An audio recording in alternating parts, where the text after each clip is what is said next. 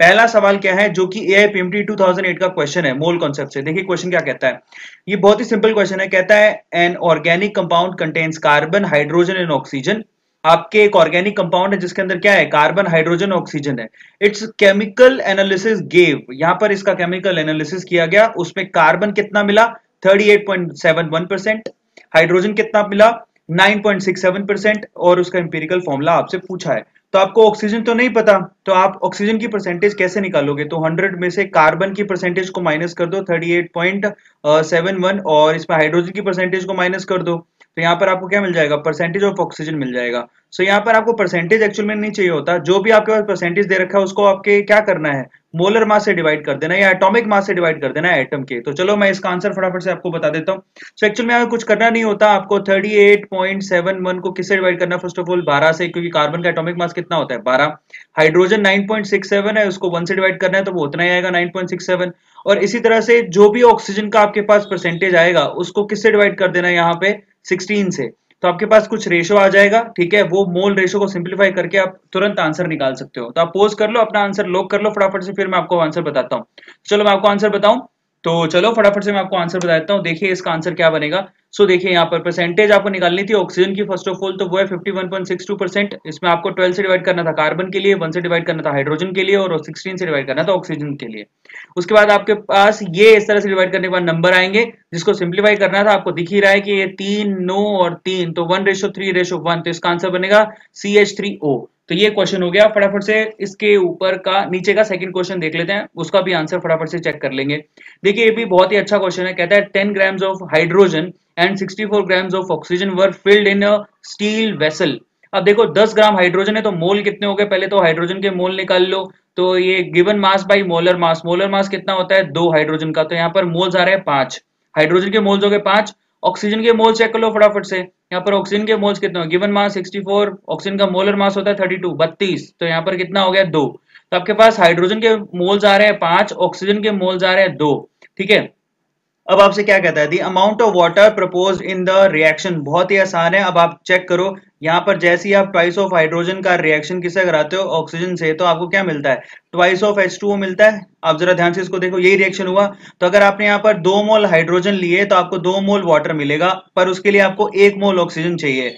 अब आप चेक करो यहाँ पर, आपके पास दो से एक चाहिए। तो आपके पास हाइड्रोजन के मोल्स कितने हैं? पाँच तो उसके लिए कम से कम 2.5 आपको ऑक्सीजन चाहिए था जो कि है ही नहीं। क्या आपके पास है? क्या इतना अमाउंट है? नहीं है। सो so, आपके पास जितना है इसका मतलब ऑक्सीजन हमारे लिए क्या हो गया? लिमिटिंग रिएजेंट तो आप खुद ही सोचो। बस इतना सा सोच लो जो लिमिटिंग रिएजेंट है उसके रिस्पेक्ट में निकालो। जब आपको एक मोल ऑक्सीजन चाहिए तो सोचो जरा कि यहाँ पर पानी कितना निकलेगा। जरा देखो दो। तो अगर आपके पास दो मोल ऑक्सीजन है तो पानी कितना निकलेगा? चार। तो इसका आंसर कितना हो गया? चार। बहुत ही आसान सवाल था। चलो इसका आंसर के दर्शन आपको करा देता हूँ। ये इस तरह से भी आप इसको कर सकते थे। भाई हमने मोल निकाल लिया फटाफट से, उसके बाद देखा हमने चेक किया, यहाँ पर क्या रिक्वायरमेंट है? उसे पता लगा ऑक्सीजन जो है बेसिकली वो लिमिटिंग रिएजेंट है। तो उससे तुरंत आंसर निकाल लिया, बहुत सिंपल था। आप खुद ही देखिए यहाँ पर एक मोल ऑक्सीजन से दो मोल पानी मिल रहा है, आपके पास दो मोल ऑक्सीजन है, क्योंकि लिमिटिंग रिएजेंट के हिसाब से ही आपका प्रोडक्ट बनेगा। अब यहाँ पर हाइड्रोजन के हिसाब से प्रोडक्ट तो बनने वाला नहीं, क्योंकि हाइड्रोजन तो एक्सेस में है। तो यही आपका प्रोडक्ट बनाएगा और वो आपको बता रहा है कितना होगा। नेक्स्ट क्वेश्चन चेक कर लेते हैं फटाफट से, जो कि सीबीएसई मेडिकल प्रीलिम 2018 का क्वेश्चन है। ठीक है? सो अब जरा ध्यान से इसको चेक करो क्वेश्चन क्या कहता है? कहता है what volume of oxygen gas measured at zero degree Celsius and one ATM ठीक है? ये एस हो गया basically is needed to burn completely one litre of propane ठीक है? अब आपको दे दिया ये प्रोपेन अब आप जरा चेक करो, इसको आपको बर्न करना है. तो आपको ऑक्सीजन की रिक्वायरमेंट है. आज यहाँ से निकलेगा क्या? एक तो CO2 और दूसरा क्या निकलेगा? एच टू आप इसको बैलेंस कर लो. यहाँ पर कार्बन कितने हैं? तीन तो मैं यहाँ तीन लगा दूँ. हाइड्रोजन कितने हैं? आठ तो मैं यहाँ चार लगा देता हूँ.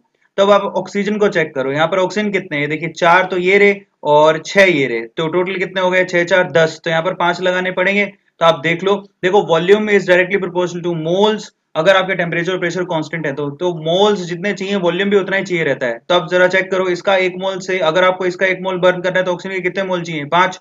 तो इसका आंसर कितना आ गया? लीटर में भी पाँच ही लीटर आएगा तो इसका आंसर बनेगा बी इसका आंसर का आगे मैं चेकिंग करवा दूँगा आपको, ये इसका आंसर हो गया, ठीक है? नेक्स्ट क्वेश्चन को चेक कर लेते हैं। कई लोग ऐसा कह रहे थे कि यहाँ पर थोड़ा सा राइटिंग की प्रॉब्लम है तो एक्चुअल में ये इलेक्ट्रॉनिक पैड है, इसमें राइटिंग कुछ ऐसे ही आती है प्रॉब्लम ये है। यहाँ पर आप पेज के जैसा नहीं लिख सकते तो आई होप मैं बोल रहा हूँ, उससे आप चेक कर लो कि आंसर क्या है, ठीक है? सो फटाफट से नेक्स्ट क्वेश्चन चेक कर लेते हैं। कहता है the number of moles of केमिनोफोर अब ये बहुत अच्छा सवाल है। आपको करना क्या है? देखो केमिनोफोर जो है एसिडिक मीडियम में केमिनोफोर फिर भी मैं ट्राई कर रहा हूँ अच्छा लिखा जाए तो ठीक ही लिखा जा रहा है। That will be needed to react with one mole of sulphite अब देखो सल्फाइट देखो, ये सल्फाइट आयन क्या होता है? एसओ थ्री माइनस टू बस, अब आप ये सोचो, अब एसिडिक मीडियम है sulphite obviously sulphite acidic medium ही होगा। तो यहाँ पर केमिनो फॉर एसिडिक मीडियम में आपको पता है किसमें कन्वर्ट होता है? ये तो पता होना चाहिए एम एन प्लस टू में। अब ये नॉलेज आपको होनी चाहिए, तब तो आपकी बात बनेगी और ये इलेवंथ में सिखा दी जाता है। और सल्फाइड खुद किसमें कन्वर्ट हो जाएगा? सल्फेट के अंदर।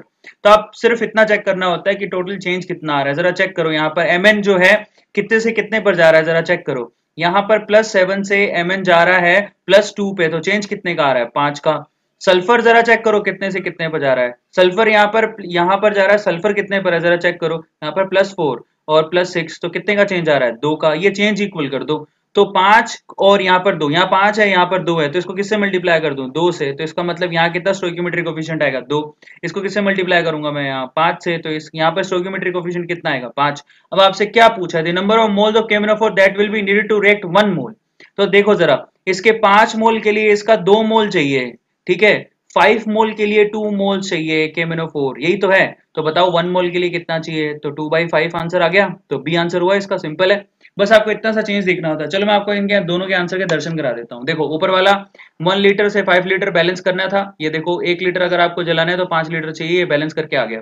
दूसरा आपको केमिनो फोर का पता होना चाहिए। केमिनो फोर एम में कन्वर्ट होता है और एसओ थ्री जो है, वो एसओ फोर में कन्वर्ट होता है। चेंज देखना था। यहाँ पर दो है, यहाँ पे कितना है? पाँच। आपको इनकी बैलेंस करने की ज़रूरत नहीं पड़ती बस आप ये देख लो, दो से पाँच चाहिए। या फिर पाँच से इसका दो चाहिए तो एक से कितना चाहिए? टू बाई फाइव आंसर आ गया। और ऐसे सवाल बहुत पूछे जाते हैं। नेक्स्ट क्वेश्चन चेक करो, जो सीबीएसई 2001 का क्वेश्चन है। कहता है the molarity of liquid HCl with density आपको देखो डेंसिटी दे रखी है, आपको मोलैरिटी निकालनी है। अब जरा सोचो कि मोलैरिटी होता क्या है। That is moles per litre ये तो होता है पर लीटर वॉल्यूम चाहिए आपको। लीटर में चाहिए। अब आपको जो डेंसिटी दी होती है वो आपको किसमें दी हुई है? 1.17 ग्राम पर सीसी अब देखो सीसी जो होता है बेसिकली वो एमएल के इक्वल होता है। आपको पता होना चाहिए कि one cc is equals to one M तो आपको ये जो है, एक एम में इतने ग्राम दे रखे हैं। तो आप पहले तो इसको लीटर में कन्वर्ट कर लो। तो फाइनली ये कितना होगा? एक एम में इतने होंगे तो एक लीटर में कितने होंगे? थाउज़ेंड से मल्टीप्लाई कर दूँ तो 1.17 point one seven into two thousand या फिर एम का वैल्यू रख दो। ये क्या हो गया? ग्राम पर litre?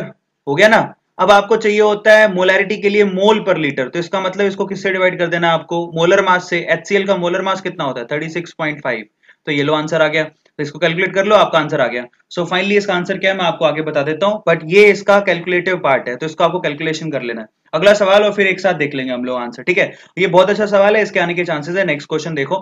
For the decolourisation decolourising for one mole of केमिनोफोर again देखो आपकी केमिनोफोर से रिएक्शन किसकी करा रहे हो? देखो केमिनोफोर खुद तो रिड्यूस होगा और H2O2 उस केस में क्या होगा? देखो, ये बहुत अच्छा ऑक्सीडाइजिंग एजेंट है तो सामने वाले को ऑक्सीडाइज करता है। अगर H2O2 ऑक्सीडाइज होता है, किसमें कन्वर्ट होता है? सिर्फ़ इतना पता होना चाहिए। ऑक्सीजन में ऑक्सीडाइज होकर कैसे? देखो, ये माइनस वन से किधर चला गया? ज़ीरो पर। तो ऑक्सीडाइज हो गया। और एसिडिक मीडियम में देखो केमिनोफोर ठीक है H2O2 रिक्वायर्ड डीकलराइजिंग कर रहे हो आप वन मोल की तो आपको कितना चाहिए? यही सवाल आपसे पूछा है। केमिनोफोर खुद किसमें कन्वर्ट होगा? एम एन प्लस टू में। तो आप जरा चेक करो, यहाँ पर चेंज कितने का आ रहा है। देखो एम एन खुद प्लस फोर प्लस सेवन से कहा जा रहा है? प्लस टू में। तो चेंज कितना, कितने का आ रहा है? पाँच का। यहाँ पर ऑक्सीजन को चेक करो। ऑक्सीजन क्या है? माइनस वन से ज़ीरो पर जा रहा है। लेकिन ऑक्सीजन तो दो है ना? तो दो में कितने का चेंज आ रहा है? दो का। तो आपको पूछा कि वन मोल केमिनोफोर तो एक्चुअल में पहले चेंज को बराबर कर लो। पाँच को किससे मल्टीप्लाई करोगे? दो से। दो को किससे मल्टीप्लाई करोगे? पाँच से। इसका मतलब यहाँ तो आएगा पाँच, यहाँ आएगा दो। अब दो से इसके कितने चाहिए? पाँच। आपको एक से कितने चाहिए? फाइव बाई टू आंसर आ गया सी ये बहुत ही आसान सवाल था। तो इसका आंसर के दर्शन करा देता हूँ फटाफट से। देखो, ये आंसर इस तरह से भी निकाल सकते हो। ये तो आपकी मलैरिटी होगी तो जरा चेक कर लो और ये इसका आंसर हो केमिनोफोर का। ये बैलेंस करके लिखा हुआ है। ये आपको मैंने आपकी नॉलेज के लिए लिख दिया, बाकी सीधे भी आप निकाल सकते हो, जो तरीका मैंने आपको बताया। वहाँ पर आपको सिर्फ़ change in oxidation state per molecule check करना होता है। दोबारा बताता हूँ। Change in oxidation state per molecule check कर लोगे आपका आंसर आ जाएगा।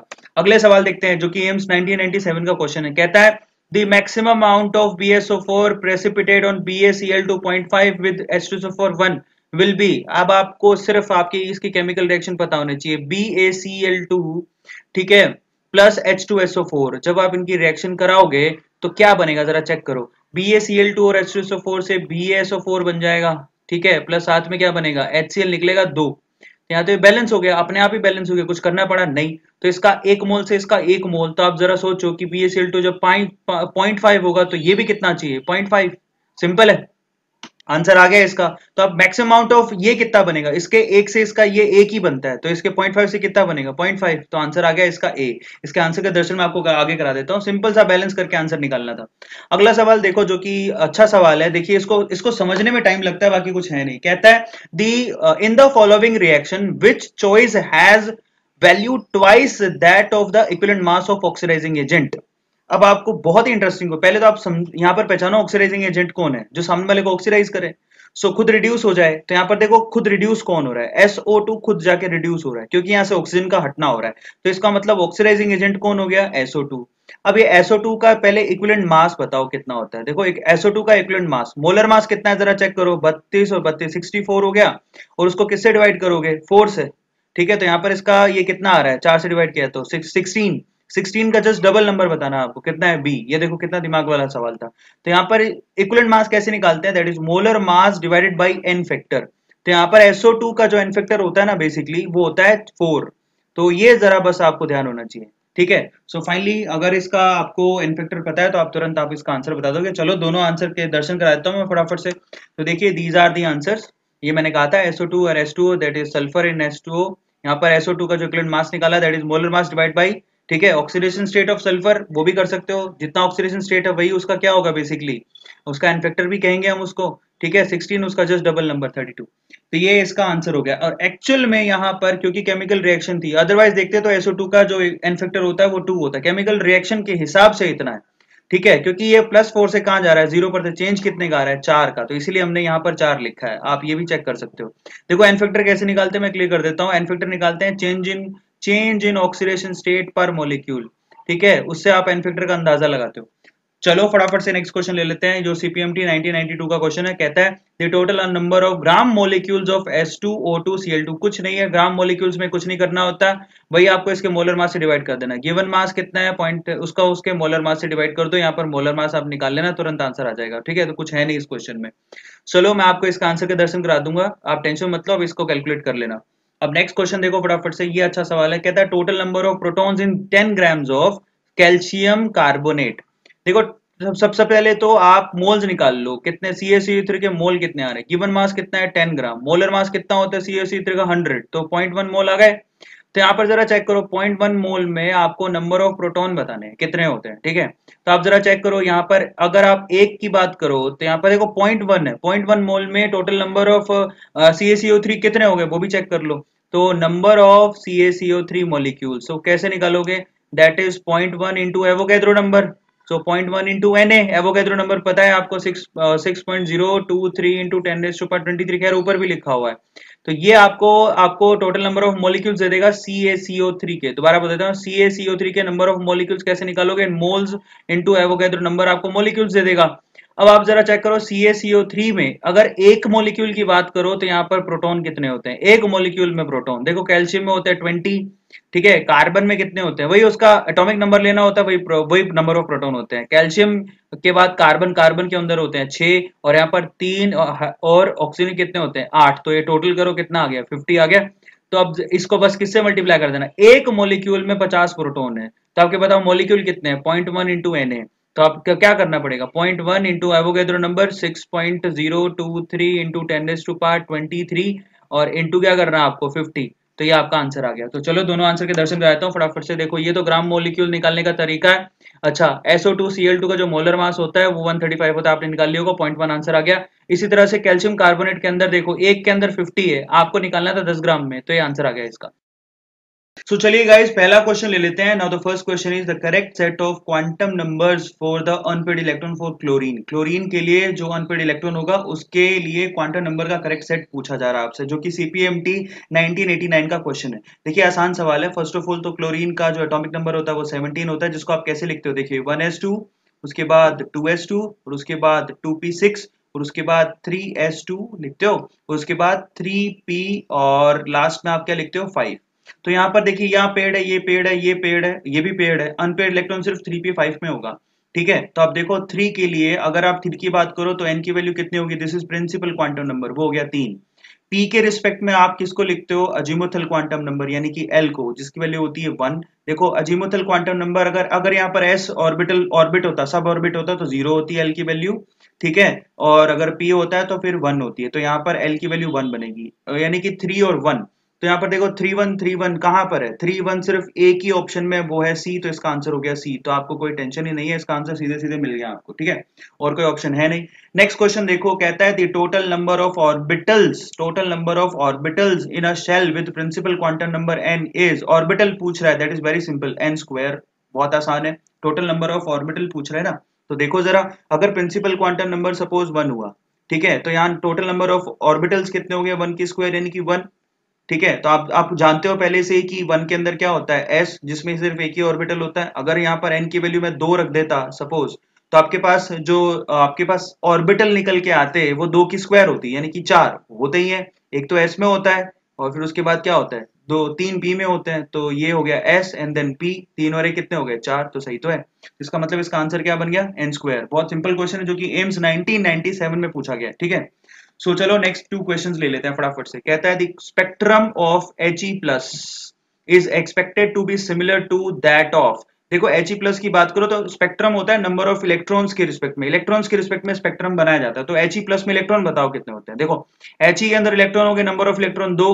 अगर आप एच प्लस की बात करते हो नंबर ऑफ़ इलेक्ट्रॉन कितने हुए? एक। अब यहाँ पर देखो, एक नंबर ऑफ़ इलेक्ट्रॉन किसमें है? देखो हीलियम में तो दो होते हैं, ये नहीं हो सकता। लिथियम में तीन थे, एक हटा दिया तो दो। ये भी नहीं हो सकता, ये भी नहीं हो सकता। सोडियम तो हो ही नहीं सकता, ग्यारह होते तो हाइड्रोजन यहाँ पर आंसर है, क्योंकि उसमें एक ही इलेक्ट्रॉन होता है।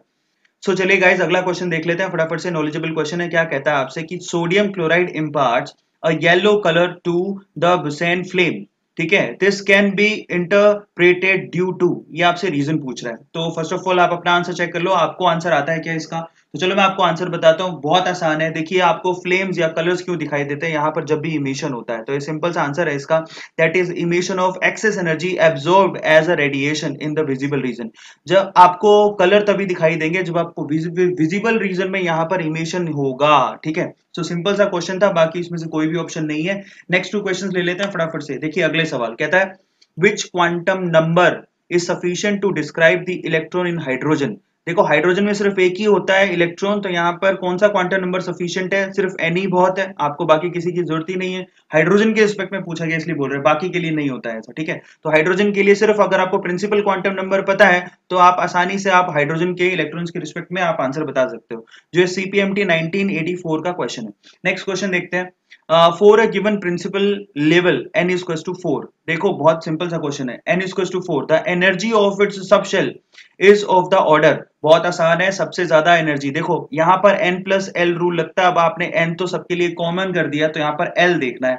एल की वैल्यू एस ऑर्बिटल के लिए ज़ीरो होती है। देखो एन प्लस एल की वैल्यू जिसकी सबसे ज़्यादा होती है, उसकी एनर्जी भी सबसे ज़्यादा होती है। तो यहाँ पर एन प्लस एल रूल लगाओगे एन की वैल्यू तो सबके लिए चार है तो आपको सिर्फ़ एल को देखना है। तो एल देखो एस के लिए एल की वैल्यू ज़ीरो होती है पी के लिए एल का वैल्यू वन होता है डी के लिए एल का वैल्यू टू होता है, और एफ़ के लिए एल का वैल्यू तीन होता है। तो सबसे ज़्यादा एनर्जी किसकी होगी? एस सबसे ज़्यादा एफ़ की, फिर डी की, फिर पी की और फिर एस की। तो यहाँ पर आंसर हो गया इसका बी आंध्रा एमबीबीएस का क्वेश्चन था।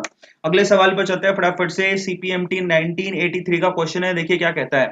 With increase in principal quantum number the energy difference between the the energy levels of hydrogen decreases. है सबको पता है। आपने सबने स्पेक्ट्रम डायग्राम देखे देखो एन स्क्वस टू वन से लेके एन स्क्वस टू टू तक का गैप सबसे ज़्यादा होता है। यानी कि ऑलमोस्ट अराउंड टेन के करीब होता है। टेन पॉइंट थ्री या टेन पॉइंट टू या टेन पॉइंट सिक्स इतना कुछ होता होगा, वो आप निकालना है। उसके बाद धीरे धीरे एनर्जी लेवल जो है, इस तरह से पास आते जाते हैं। सबने एनर्जी डायग्राम देखे हुए हैं, ठीक है?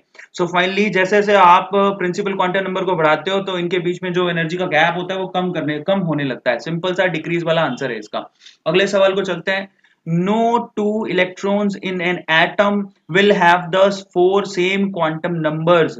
ये स्टेटमेंट किसने दिया था? ये सवाल पूछा आपसे। आंध्रा एमबीबीएस 1990 का क्वेश्चन है और एमपी सीईटी 1999 का क्वेश्चन भी है ये। सो so, दोनों क्वेश्चन देखो तो अनसर्टेनिटी नहीं है हुंड रूल भी नहीं है। हुंड रूल तो पेयरिंग के रिस्पेक्ट में होता है एनर्जी के रिस्पेक्ट में। एक्सक्लूजन प्रिंसिपल है ये। ए आंसर है इसका कि दो इलेक्ट्रॉन्स के प्रिंसिपल जो क्वांटम नंबर्स होते हैं, सारे के सारे वो सेम नहीं हो सकते। ये एक्सक्लूजन प्रिंसिपल कहलाता है, ठीक है? पाउलीज एक्सक्लूजन प्रिंसिपल भी कहते हैं इसको।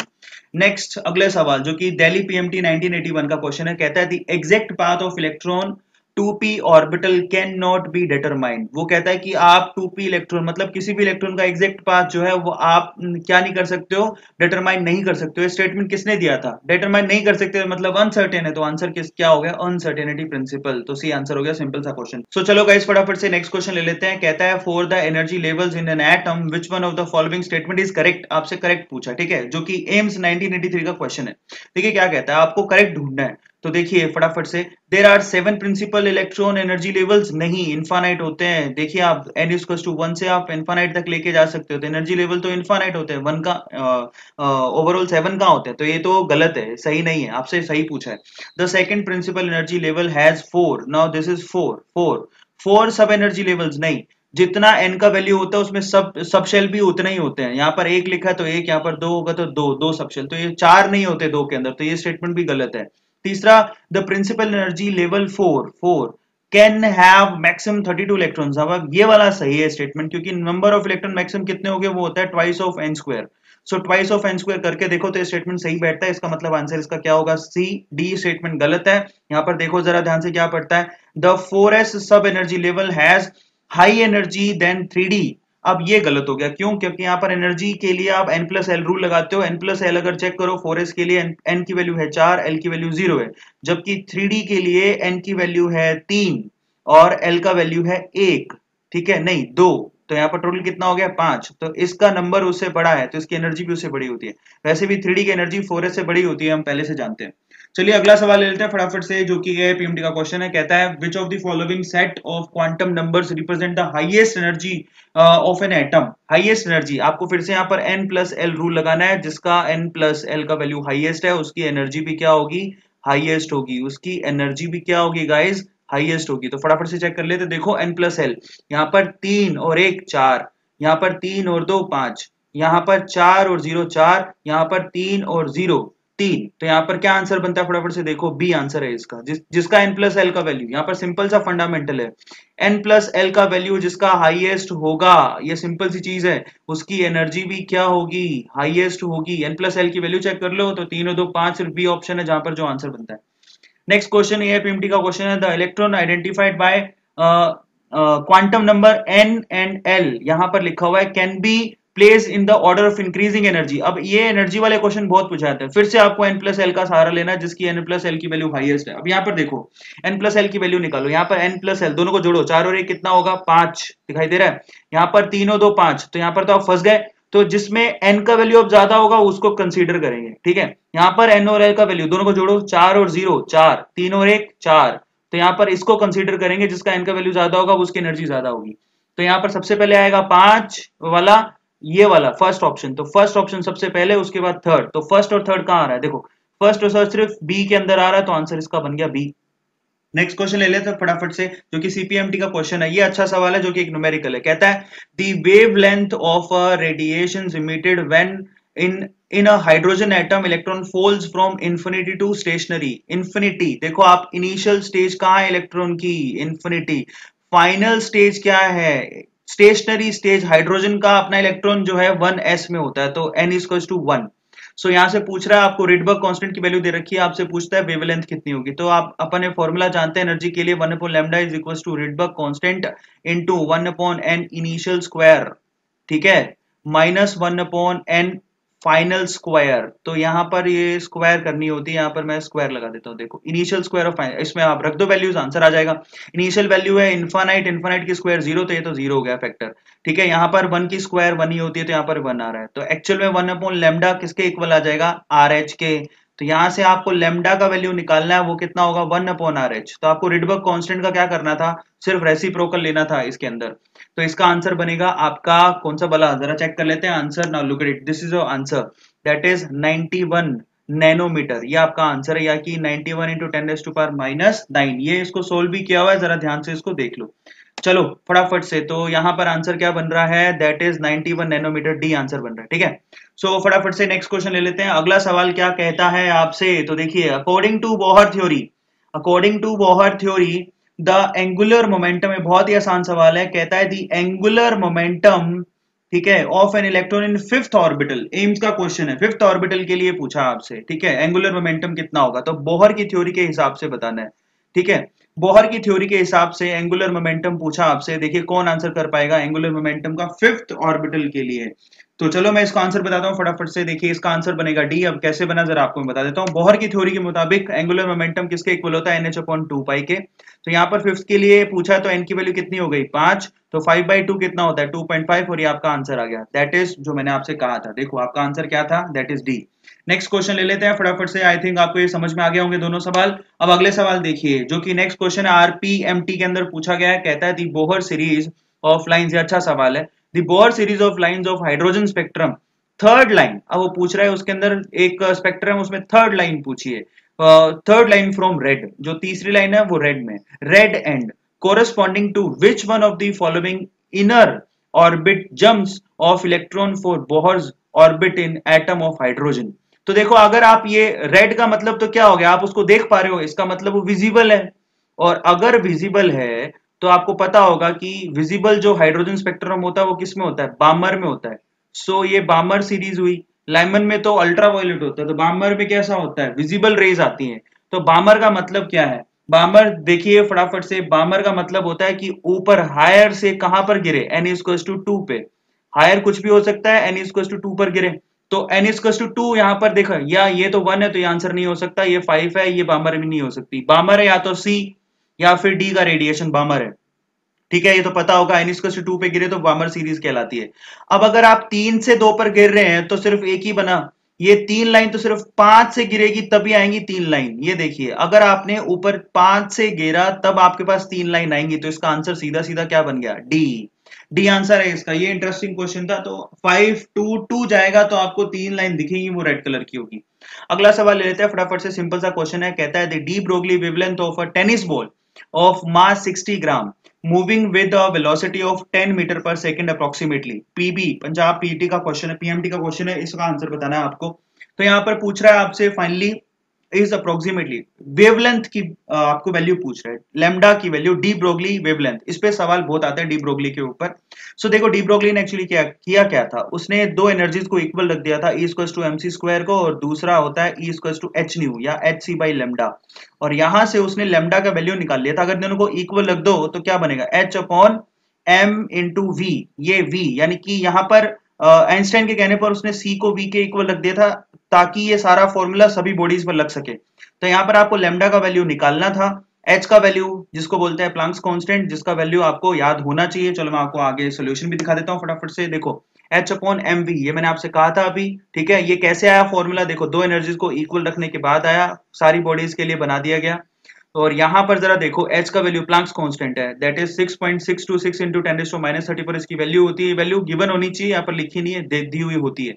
मास आपको 60 दे रखा है और वेलोसिटी आपको 10 60 को किसमें कन्वर्ट कर लिया हमने? केजी के अंदर। तो फाइनली वेलोसिटी की वैल्यू आपको दे रखी है, जिससे आंसर आ गया ten S to power minus thirty तो इसका आंसर बनेगा ten S to power minus thirty three तो ये इसका आंसर हो गया। चले हम अगले सवाल पर। नेक्स्ट टू क्वेश्चन ले लेते हैं फटाफट से। देखिए, जो कि ए आई के अंदर पूछा गया है क्वेश्चन को कहता है which set is correct for the electron four F तो देखिए यहाँ पर फटाफट से। फोर एफ़ के लिए पूछ रहा है कौन सा यहाँ पर जो सेट है क्वांटम नंबर्स का वो सही है। तो एन की वैल्यू तो फ़र्स्ट ऑफ़ ऑल फोर होगी। फोर एफ़ के लिए एन की वैल्यू तो फोर होगी। ये तो क्लियर हो गया। अब जीमोथल क्वांटम नंबर ले लो। ये देखो जरा ध्यान से। एल देखो एल की वैल्यू एस के लिए होती है ज़ीरो पी के लिए होती है वन ठीक है? डी के लिए होती है टू और एफ़ के लिए कितनी होती है? थ्री तो यहाँ पर एल की वैल्यू आएगी थ्री तो देखो फोर थ्री फोर थ्री मतलब ये ऑप्शन तो गए। ये नहीं हो सकता, ये नहीं हो सकता। अब या तो आंसर होगा सी या आंसर होगा डी, उन्हीं में से एक को चूज़ करना है। अब एन एल उसके बाद बचता है एम एम का वैल्यू देखो वेरी करता है माइनस एल से लेके प्लस एल तक। यही तो होता है, यानी कि अगर एल की वैल्यू तीन है तो इसकी वैल्यू एम की वैल्यू वेरी करेगी माइनस तीन से लेके प्लस तीन के बीच में। इनके बीच में वैल्यू होगी। लेकिन ये देखो, ये प्लस फोर पे लेके जा रहा है तो इसका मतलब ये गलत है। तो इसका आंसर क्या बन गया आपके पास सी सो फाइनली यहाँ पर सी आंसर होगा तो आपने अगर सी लगाया तो आपका बिल्कुल गैस सही है। अब चलते हैं नेक्स्ट क्वेश्चन पर, जो कि एम्स में पूछा गया सवाल है। कहता है आपसे the number of electrons with azimuthal quantum number L is to one and L is to two in ground state of chromium ये बहुत ही आसान सवाल है। इज़ आपको इसके लिए क्रोमियम का इलेक्ट्रॉनिक कॉन्फिग्रेशन लिखना था जो आपको आना चाहिए। 24 इलेक्ट्रॉन भरने हैं। एल इज़ टू वन का मतलब क्या हो गया? यहाँ पर पी के अंदर भरे गए electron L is to two का मतलब डी के अंदर भरे हुए इलेक्ट्रॉन तो देखो इसको कैसे लिखोगे? One S two two S two two P six three S two, ठीक है? उसके बाद थ्री पी सिक्स, उसके बाद आता है थ्री डी। थ्री के बाद फोर एस। तो देखिए, यहाँ पर एक लोचा, यहाँ पर वन होता है और यहाँ फाइव होता है। ये क्रोमियम का इलेक्ट्रॉनिक कॉन्फ़िगरेशन है। तो चेक करो, पी के अंदर कितने पी के अंदर देखो, यहाँ पर छह ये रे और छह ये रे तो बारह। डी के अंदर कितने? पाँच। तो बारह और पाँच, यानी कि बी आंसर हो गया। चलो, इन दोनों आंसर्स के दर्शन करा देता हूँ। क्रोमियम का इलेक्ट्रॉनिक कॉन्फ़िगरेशन सबको याद होना चाहिए। ये एक एक्सेप्शनल केस था। तो दिस इज़ चलो आंसर तो मैंने आपको बता दिया यहाँ पर आंसर्स गिवन नहीं है तो यही आंसर है इसके, ठीक है? ऊपर वाले का आंसर बनेगा सी और नीचे वाले का आंसर बनेगा बी नेक्स्ट क्वेश्चन ले लेते हैं, फटाफट these are the next question और ये अच्छे सवाल है, देखिए, कहता है the energy of an electron is given देखो, यहाँ पर ये ई e और साथ में एनर्जी का फॉर्मूला भी दे दिया, सबसे अच्छी बात है। ए पीएमटी के अंदर एनर्जी का फॉर्मूला दे दिया, आपको याद करने की ज़रूरत ही नहीं पड़ी। कहता है wavelength of light required to required to excite an electron in in in an hydrogen atom from level n six to one to n six to two simple सा जो फॉर्मूला ही दिया है तो यहाँ पर डेल्टा ई e का value पूछ रहा है कि कितना एनर्जी जो है का डिफरेंस आएगा जब, यानी कि एनर्जी यहाँ पर क्या होगी? रिलीज़ होगी एब्जॉर्ब होगी जब वन से टू पर जाएगा। वन से टू पर तो एब्जॉर्ब होगी। यहाँ पर करना कुछ था नहीं। देखो, इसका आंसर मैं आपको बताता हूँ। एएफएमटी का क्वेश्चन है। आपके लिए यहाँ पर प्लांक्स कांस्टेंट का वैल्यू भी दिया हुआ है। यहाँ पर स्पीड की लाइट भी दी हुई है। तो चलो इनके आंसर का दर्शन करा देता हूँ। देखो डेल्टा इज़ टू क्या होता है? Is two point one seven eight into ten to power minus eight इसको रिडबर्ग कांस्टेंट बोलेंगे जूल के रिस्पेक्ट में। यहाँ पर होता है one initial upon one minus तो यहाँ पर ये देखो एनर्जी किसके इक्वल है जो भी एनर्जी नीट होगी देखो, हमको प्लांक के जो थ्योरी के हिसाब से पता है कि जो एनर्जी इमिट होती है, उसकी वैल्यू एच न्यू के इक्वल होती है। एच न्यू मतलब एच सी बाई लेमडा तो जो भी एनर्जी यहाँ पर रिलीज़ होगी, उसको किसके इक्वल रख दिया? यहाँ पर एच सी बाई लेमडा के। तो यहाँ से आपको लेमडा का वैल्यू निकालना था, सबकी वैल्यू दे रखी है, और इसका आंसर बनेगा ten S to power minus seven one point two one four into ten S minus seven now this is the solution ठीक है? सो फाइनली यहाँ पर आंसर बन रहा है now look at ten S minus seven यानी A answer ठीक है? नेक्स्ट क्वेश्चन देखो, बहुत ही आसान है। कहता है आपसे the correct set of four quantum number four number four valence electron in rubidium अब आपको रुबीडियम 37 है। उसका इलेक्ट्रॉनिक कॉन्फ़िगरेशन कैसे लिखोगे? देखो, ये रुबीडियम आता है ग्रुप नंबर वन में। इसका लास्ट इलेक्ट्रॉन भरा जाता है। एस राष्ट्र इलेक्ट्रॉन एस के अंदर भरा जाएगा ठीक है? तो आपको क्रोमियम तक तो, तो पता ही है। उसके बाद आपको ये पता होना चाहिए कि रूबीडियम आएगा कहाँ। तो देखो यहाँ पर फ़र्स्ट ग्रुप में आता है पहले हाइड्रोजन जो पीरियड नंबर वन में आता है फिर उसके बाद लिथियम ठीक है? उसके बाद सोडियम उसके बाद पोटेशियम ठीक है? उसके बाद आता है रूबीडियम तो यहाँ पर एन की वैल्यू कितनी हो गई? पाँच। तो कुछ नहीं है फाइव में एस में वन में भरा जाता है। तो यहाँ पर एन की वैल्यू तो कितनी हो गई? पाँच। एल की वैल्यू कितनी हो गई? ज़ीरो क्योंकि एस के लिए एल का वैल्यू ज़ीरो होता है। तो पाँच ज़ीरो कहाँ है? सिर्फ़ पाँच ज़ीरो अब ए और डी में टक्कर है। एल जब ज़ीरो होता है तो उसमें एम की वैल्यू भी ज़ीरो होती है guys now this is minus zero से प्लस ज़ीरो का मतलब क्या होता है? ज़ीरो तो फाइनली इसका आंसर क्या बनेगा? ए तो इसके आंसर हो गया यहाँ पर ए जो मैंने आपसे कहा था। देखो, ये क्वांटम नंबर दे रखे now the first question is जो कि एएफएमटी 2008 का क्वेश्चन है, क्या कहता है आपसे? जरा देखिए। कहता है which of the following is are state function state function इनमें से कौन से हैं? स्टेट फ़ंक्शन जो कि इनिशियल स्टेट और फाइनल स्टेट पे ही डिपेंड करते हैं पाथ पर डिपेंड नहीं करते, आप चाहे ऐसे जाओ, चाहे ऐसे जाओ, चाहे ऐसे जाओ। तो आपसे स्टेट फ़ंक्शन पूछ रहा है कि जो कि सिर्फ़ इनिशियल स्टेट और फाइनल स्टेट पर डिपेंड करते हैं, ऐसे कौन से हैं?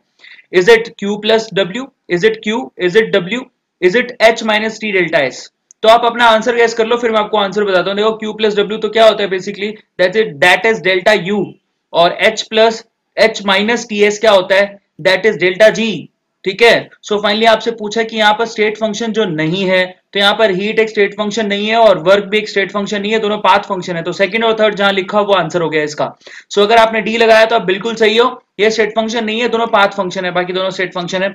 सेकंड क्वेश्चन चेक करो क्या आपको आता है सेकंड क्वेश्चन फटाफट से बताइए इसका आंसर जरा लोग कर लो। कहता है for the gas phase reaction आपके पास एक रिएक्शन दे रखा है। Which of the following condition are correct आपसे पूछा है ये. ए एफ़ टू का क्वेश्चन और काफ़ी अच्छा सवाल है. तो बताइए इसका आंसर क्या होगा? तो चलो मैं आपको बताऊँ. फ़र्स्ट ऑफ़ ऑल तो इक्लिब्रियम पर है तो डेल्टा जी का वैल्यू यहाँ पर डेल्टा जी का वैल्यू ज़ीरो है, लेकिन डेल्टा जी आपसे पूछा नहीं है. यहाँ से आपसे क्या पूछा जरा सोचो. यहाँ पर सबसे पहले तो देखिए, यहाँ पर आप डिसोसिएशन करा रहे हो तो यहाँ पर एंट्रोपी बढ़ रही है फ्रीडम बढ़ रही है, क्योंकि आप दो गैसेस एक गैसेस से यहाँ पर दो गैसेस रिलीज़ हो रही हैं तो एंट्रोपी तो पॉजिटिव आएगी. दूसरी बात, यहाँ पर डिसोसिएशन के लिए हमेशा आपको क्या चाहिए? एनर्जी चाहिए होती है। तो आपको ये जो रिएक्शन है बेसिकली वो एंडोथर्मिक है, इसका मतलब डेल्टा एच का वैल्यू भी क्या है? पॉजिटिव तो यहाँ पर बी आंसर अगर आपने लगाया तो आप बिल्कुल सही हो। तो आपके दोनों आंसर्स मैंने आपको बता दिए फटाफट से इनके आंसर्स के दर्शन कर लेते हैं, ठीक है? So these are the answers of those question first का डी होगा और ये मैंने आपको बता दिया और सेकंड का बी होगा, जो भी मैंने आपको बता दिया। डेल्टा एच का वैल्यू पॉजिटिव होगा। और डेल्टा एस का वैल्यू भी पॉजिटिव होगा। तो आंसर्स मैं आप लोगों को साथ साथ चेक करवाते रहूँगा। नेक्स्ट क्वेश्चन को देखो फटाफट से। ये बहुत अच्छा क्वेश्चन है। क्वेश्चन नंबर थ्री पढ़िए जो कि ए एफ़ एमटी टू का क्वेश्चन और ऐसे क्वेश्चन बहुत पूछे जाते हैं। कहता है enthalpy of hydrogenation of cyclo cyclohexene is minus 119.5 kilojoule per mole. If the resonance energy of benzene is 150.4 वो भी माइनस का किलोजूल पर mole it's enthalpy of hydrogenation would be. आपको बेंजीन की एंथैल्पी ऑफ़ हाइड्रोजिनेशन पूछ रहा है। ये बहुत अच्छा सवाल है। तो क्या आप कैलकुलेट कर लो पहले? वीडियो को पोस्ट करके कोई दिक्कत नहीं है, उसके बाद मैं आपको आंसर बताता हूँ। क्या आपने वीडियो को पोस्ट करके आंसर लॉक कर लिया? तो चलो आपको बताऊँ एक्चुअल में इसका आंसर क्या बनेगा? इसका आंसर बनेगा डी अब ये कैसे आया? तो चलो मैं इस आंसर के आपको दर्शन करा देता हूँ। मैं दोनों आंसर्स के एक साथ दर्शन कराऊँगा आपको, ठीक है? क्योंकि अगली स्लाइड में इन दोनों के आंसर्स भी हैं। सो इसको सोल्व करके बताऊँगा। आपको जरा ध्यान से देखो, इससे पहले हम लोग क्वेश्चन नंबर फोर भी साथ ही ले लेते हैं तो दोनों के आंसर्स मैं एक साथ बता दूँगा, ठीक है? फोर्थ क्वेश्चन बहुत आसान है तो थर्ड क्वेश्चन के लिए आंसर के लिए आप एक मिनट का वेट कर लो। For the process H two which is liquid one bar and three seventy three kelvin H two which is gas one bar and three seventy three यहाँ जरा ध्यान से देखो प्रेशर एंड टेम्परेचर दोनों constant है। The correct set of thermodynamic parameters are यहाँ पर correct set पूछा है तो देखो क्योंकि टेम्परेचर प्रेशर कांस्टेंट है यहाँ पर और ये वैसे भी कैसा होता है? इक्लिब्रियम में होती है ये सारी की सारी सिचुएशंस जिसके लिए डेल्टा जी का वैल्यू क्या होना चाहिए? ज़ीरो और दूसरी बात लिक्विड से गैस कन्वर्जन हो रहा है। इसका मतलब एंट्रोपी बढ़ रही है तो दैट इज़ पॉजिटिव तो अगर आपने ये लगाया तो आप बिल्कुल सही हो। तो चलो, ऊपर वाले को मैं यहाँ सोल्व नहीं कर सकता हूँ क्योंकि जगह कम है, इसलिए मैं आपको आगे आपको बता देता हूँ इसका आंसर क्या बनेगा। जरा ध्यान से देखो, ये है हमारे पास साइक्लोहेक्सीन उसके लिए आपको minus one one nine point five दे रखा है। अगर आप यहाँ पर जरा देखो साइक्लोहेक्सीन में तो सिर्फ़ एक ही डबल बॉन्ड होता है। लेकिन बेंजीन में तीन डबल बॉन्ड होते हैं। तो जरा ध्यान से यहाँ चेक करो यानी कि उसका तीन गुना एनर्जी यहाँ पर क्या होना चाहिए? यहाँ पर तीन गुना एनर्जी यूज़ होना चाहिए। ठीक है? तो जरा ध्यान से इसको देखो। दैट इज़ इसका तीन गुना हमने कर दिया।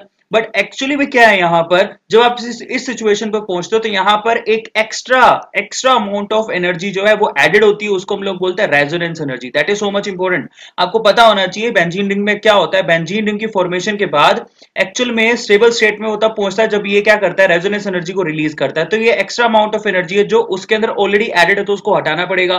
तभी आपको पता लगेगा कि एक्चुअल में हीट ऑफ़ या एनर्जी ऑफ़ हाइड्रोजनेशन क्या है? तो एक्चुअल में minus three three five eight point five से आपको क्या करना है?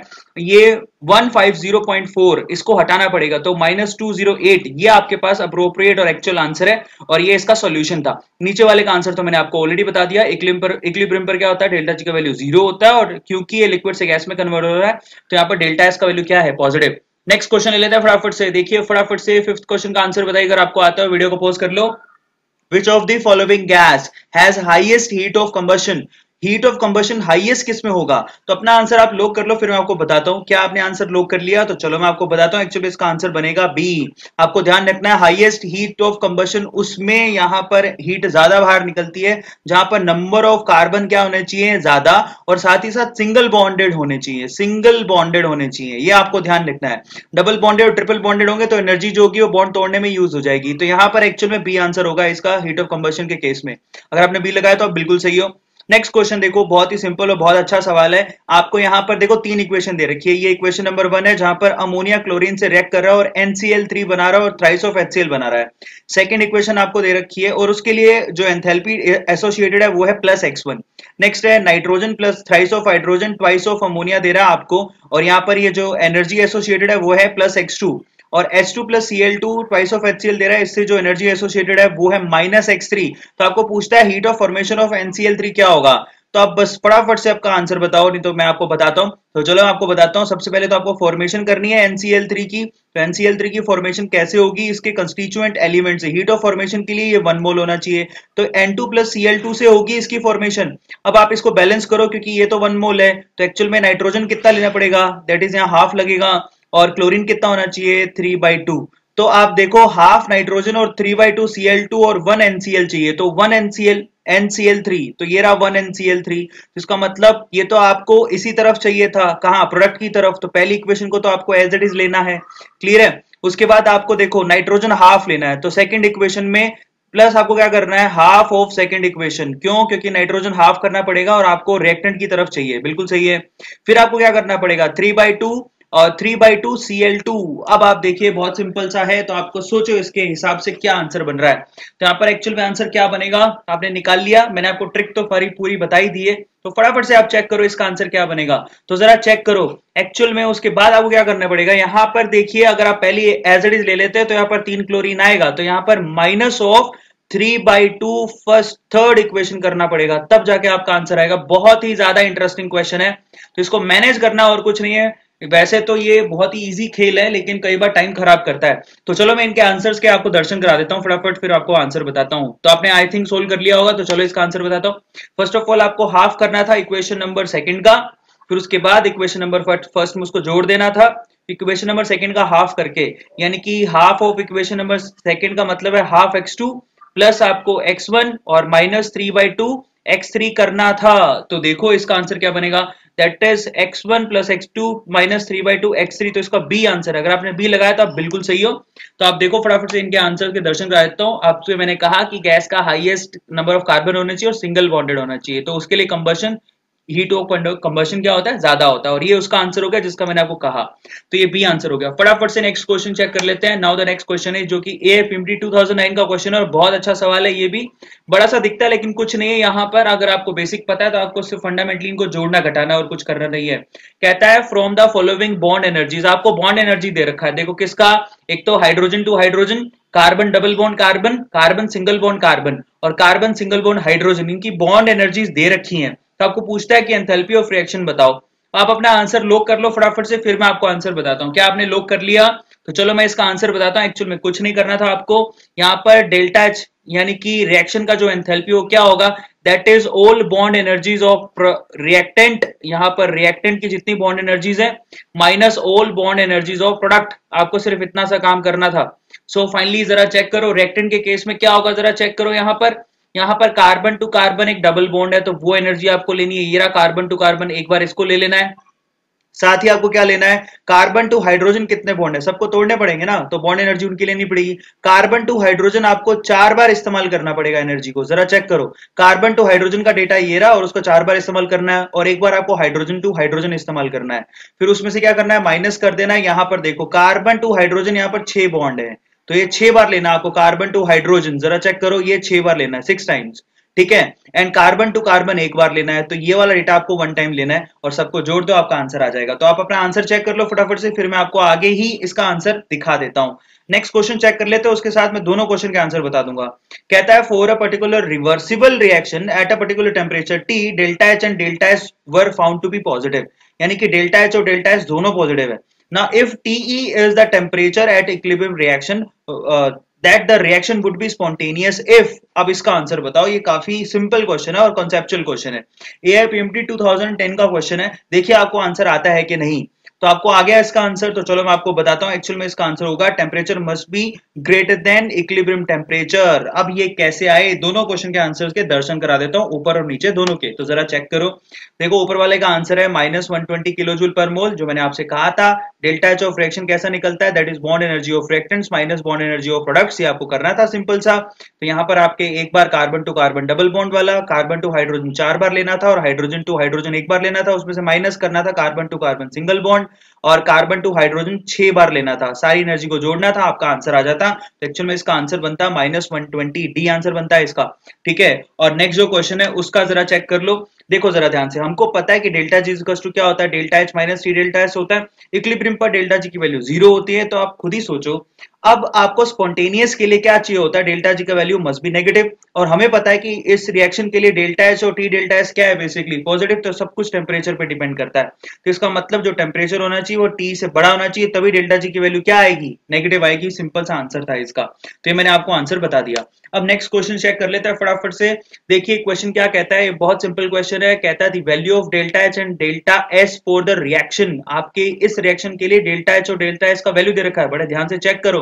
That is 170 kilo joule now look at it ये किलो जूल है और ये कितना है? 170 जूल पर केल्विन ये दे रखा है। The reaction will be spontaneous at आपको पूछा है स्पॉन्टेनियस कब होगी रिएक्शन तो ये सिंपल सा क्वेश्चन है। तो आप देखो फटाफट से। तो ये देखिए, डेल्टा जी नोट का वैल्यू क्या होता है? That is delta delta H minus T delta S ठीक है? सो so, अगर ये इक्विलिब्रियम पर होगी तो डेल्टा जी का वैल्यू ज़ीरो होगा उससे आप यहाँ पर टेम्परेचर निकाल सकते हो। आपको क्या करना है? डेल्टा एच को डिवाइड करना है डेल्टा एस से। आप एक काम करोगे तो टेम्परेचर आ जाएगा तो यहाँ से टेम्परेचर अप्रोक्सीमेटली आंसर बनेगा इसका ए सो सिंपल सा क्वेश्चन था जिसको आप बहुत आसानी से कर सकते थे तो इसका आंसर बनेगा 990 के अराउंड ठीक है? यानी कि थाउज़ेंड के करीब आंसर आएगा तो 990 आपका ए आंसर हो गया। नेक्स्ट क्वेश्चन चेक करते हैं दोनों के आंसर एक साथ चेक करेंगे। ठीक है? नेक्स्ट क्वेश्चन क्या कहता है? If the enthalpy change for the transition of liquid water to steam is 30 kilo joule now look at ना एंथैल्पी चेंज आपको दे रखा है 27 डिग्री सेल्सियस पर, यानी कि डेल्टा एच का वैल्यू आपको गिवन है, ठीक है? वो कितना है? दैट इज़ 30 किलो जूल पर मोल तो अब आपसे पूछा क्या है? जरा चेक करो। और टेम्परेचर भी दे रखा है, यानी कितना हो गया टेम्परेचर केल्विन के अंदर? 300 तो ये 300 हो गया। तो 300 केल्विन तो आपसे पूछता है कि change in enthalpy for the process entropy for the process बहुत आसान सवाल था। आपको पता है कि अगर डेल्टा जी नोट की वैल्यू देखे तो कैसे, किसके इक्वल होता है? Delta H minus T delta S for the for these kind of processes और ये जो प्रोसेस होते हैं बेसिकली वो रिवर्सिबल होते हैं। इसका मतलब मतलब क्या होगा? डेल्टा जी नोट की वैल्यू ज़ीरो अगेन ऊपर वाला फॉर्मुला लगाना है तो यहाँ पर बेसिकली आपसे पूछा डेल्टा एस तो फाइनली डेल्टा एस का वैल्यू किसके इक्वल होगा? डेल्टा एच को किससे डिवाइड कर देना है? सिंपल टेम्परेचर से। तो आप अपना आंसर निकाल लो। बहुत सिंपल था, इसका आंसर निकालना। तो चलो, फटाफट से दोनों क्वेश्चन के आंसर के दर्शन करा देता हूँ। Now these are the answers आपको क्या करना था? देखो, ऊपर वाला क्वेश्चन देख लो डेल्टा जी की वैल्यू नाउ डेल्टा जी की वैल्यू होती है ये, और उसके बाद डेल्टा एस का वैल्यू आपको दे रखा है किलो जूल तो सत्रह हज़ार, ठीक है? यहाँ पर एक वन सेवेंटी थाउज़ेंड जूल ये हो गया आपके पास डेल्टा एच का वैल्यू और डेल्टा जी का वैल्यू इक्विलिब्रियम पर ज़ीरो होता है. उससे हमें मालूम पड़ेगा कि यहाँ पर ये इक्वेशन बना तो यहाँ से टेम्परेचर निकल लिया थाउज़ेंड अप्रोक्सीमेटली थाउज़ेंड है, उससे कम होना चाहिए आंसर आपका आ गया. टेंथ क्वेश्चन जो है delta G naught is equal to delta H naught minus T delta S naught और इक्विलिब्रियम पर डेल्टा जी नोट का वैल्यू ज़ीरो होता है वो हमने रख दिया और यहाँ पर किलो में था तो इसको डिवाइड कर दिया और 100 जूल पर मोल पर केल्विन आंसर आ गया। तो इसका आंसर बनेगा 100 जूल पर मोल कर, पर केल्विन जिसका आंसर अगर आपने बी लगाया तो आपका आंसर बिल्कुल सही है। करना है। देखिए फ़र्स्ट क्वेश्चन बहुत ही सिंपल है। कहता है precipitation takes place when ionic product is equals to solubility product exceeds the solubility product less than the solubility product and almost zero आपको आंसर अपना लॉक करना है, फिर मैं आपको इसका आंसर बताऊँगा। सो चलिए, क्या आपने अपना आंसर लॉक कर लिया? तो एक्चुअल में इसका आंसर बनेगा बी आप खुद ही सोचिए आयंस की मात्रा अगर ज़्यादा हो, यानी कि आयनिक प्रोडक्ट अगर ज़्यादा हो, किससे? केएसपी सोलिबिलिटी जितना घुल सकता है उससे ज़्यादा होगा। तो आयन तो प्रेसिपिटेट होकर नीचे बैठने लग जाएगा, क्योंकि उसकी मात्रा सोलिबिलिटी से ज़्यादा है। सिंपल ट्रिक है इसको याद करने की। आप इसको क्या कर सकते हैं? सोल्व भी कर सकते हैं। Not at all a big deal ठीक है लेकिन इसको याद करने का ये सिंपल सा तरीका अगर आयन्स जो है सोल्यूबल क्वांटिटी से ज़्यादा होंगे तो उनका प्रेसिपिटेशन तो होगा ही। सो चलिए गाइस फटाफट से सेकंड क्वेश्चन को चेक कर लेते हैं। सेकंड क्वेश्चन क्या कहता है? When equal volume of following solutions are mixed the precipitation of AgCl जिसकी केएसपी की वैल्यू आपको गिवन है already will occur only with आपको ये बताना है कि इनमें से कौन से सॉल्यूशन में एजीसीएल का प्रेसिपिटेशन शुरू हो जाएगा। सो so, फाइनली आपको क्या करना है? आयनिक प्रोडक्ट चेक करना है यानी कि एजी प्लस का कॉन्सेंट्रेशन और Cl माइनस का कॉन्सेंट्रेशन इन दोनों का जो कॉन्सेंट्रेशन का मल्टीप्लीकेशन किससे ज़्यादा हो जाना चाहिए? KSP से। जरा चेक कर लो, ये आपको ये जो डेटा है, वो कहाँ सेटिस्फाई हो रहा है? तो देखिए फ़र्स्ट वाले में हो रहा है क्या? इसका और इसका मल्टीप्लाई करोगे तो कितना आएगा? Ten s to power minus eight ठीक है? तो ये एक्चुअली क्या है? Ten s to power minus eight ये ten s to power minus eight better ten s to power minus ten से ज़्यादा है। तो इसका मतलब आपको आंसर स्ट्रेट फॉरवर्ड मिल गया दैट इज़ ए क्या ये है? ये तो इक्वल है. Ten s to power minus ten और ten s to power minus five है. Ten s to power minus five is how much ten s to power minus ten थे तो इक्वल है. ठीक है? अभी स्टार्ट नहीं हुआ है. इक्वल है. मतलब इक्विलिब्रियम पर आ चुका है. प्रेसिपिटेशन इसके बाद शुरू होगा. जरा इसको चेक करो. Ten s to power minus five and ten s to minus six this is ten s to power minus eleven so ये भी अभी क्या है? कम है के से. ठीक है? ये भी कम है के से. लेकिन ये ज़्यादा है ना के से. उसके बाद ten to power minus ten और ten to power minus ten ये तो ten to power minus twenty हो गया, ये तो बहुत ही कम है के से। तो सिंपल आपको बस मल्टीप्लीकेशन करके चेक करना होता है कि के से जिसका ज़्यादा हो उसका पीपीटी बैठना शुरू हो जाएगा। तो एक्चुअल में इसका आंसर क्या बनेगा? इसका आंसर बनेगा ए सो चलिए गाइस थर्ड क्वेश्चन चेक कर लेते हैं फटाफट से. Now the third question is an acidic buffer solution can be prepared by mixing of आपको ये बताना है एसिडिक बफर कैसे तैयार करोगे? तो फटाफट से अपना आंसर लॉक करिए, फिर मैं आपको बताता हूँ. देखिए, आपको बहुत सिंपली इसमें क्या चाहिए होता है एसिडिक बफर में? आपको एक वीक एसिड चाहिए फ़र्स्ट ऑफ़ ऑल तो. और उसके कॉन्जुगेट बेस वाला सोल्ट चाहिए. बस कॉन्जुगेट बेस का सोल्ट और वीक एसिड अगर किसी ऑप्शन में प्रेजेंट है तो इसका मतलब वो एसिडिक बफर बनाएगा. दैट्स इट तो आप जरा सोचिए. फ़र्स्ट ऑफ़ ऑल तो सोडियम एसिटेट हाँ ये वीक एसिड का सोल्ट हो गया और एसिडिक एसिड ये वीक एसिड हो गया। तो एक्चुअल में ए ही आंसर हो गया इसका। फटाफट से आपको आंसर मिल गया। ठीक है? जबकि अमोनियम हाइड्रोक्साइड वीक बेस है तो ये आंसर नहीं हो सकता। सल्फ्यूरिक एसिड एक स्ट्रॉन्ग एसिड है, ये भी आंसर नहीं हो सकता। सोडियम क्लोराइड और यहाँ पर क्या दिया है? सोडियम हाइड्रोक्साइड तो ये तो स्ट्रॉन्ग बेस हो गया तो ये भी आंसर नहीं हो सकता। आपको आंसर इसका मिल गया and the answer of this question is A so चलिए गाइस फटाफट से फोर्थ क्वेश्चन चेक कर लेते हैं। Which of the following salt undergoes anionic hydrolysis बहुत ही इंटरेस्टिंग क्वेश्चन है ये, और काफ़ी बार पूछा गया है एनाइनिक हाइड्रोलिसिस किसका होगा? तो देखिए, अगर आपको किसी एनायन को हाइड्रोलाइज करवाना है तो anion must be strong simple सी बात है, तभी उसका हाइड्रोलाइज होगा। तो एनायन अगर स्ट्रॉन्ग हुआ तो एनायन तो बेस की तरह काम करता है ना? ठीक है? बेस यानी कि जो इलेक्ट्रॉन डोनर होते हैं। सो ये बेस है तो उसका कॉन्जुगेट एसिड कैसा होना चाहिए? कॉन्जुगेट एसिड उसका वीक होना चाहिए। ठीक है? कॉन्जुगेट एसिड उसका क्या होना चाहिए? वीक तो आप ऐसा, आप एनायन चेक करो, जिसका कॉन्जुगेट एसिड वीक हो। तो फ़र्स्ट ऑप्शन में चेक करो SO4 ये नेगेटिव पार्ट है। इसका ये कहाँ से आया होगा? SO4 से, जो कि एक स्ट्रॉन्ग है। स्ट्रॉन्ग एसिड है तो ये आंसर नहीं हो सकता। अच्छा ये वाला कहाँ से आया होगा? Cl इसका नेगेटिव पार्ट है तो ये HCl से आया होगा, जो कि स्ट्रॉन्ग एसिड है, जो ये भी नहीं हो सकता।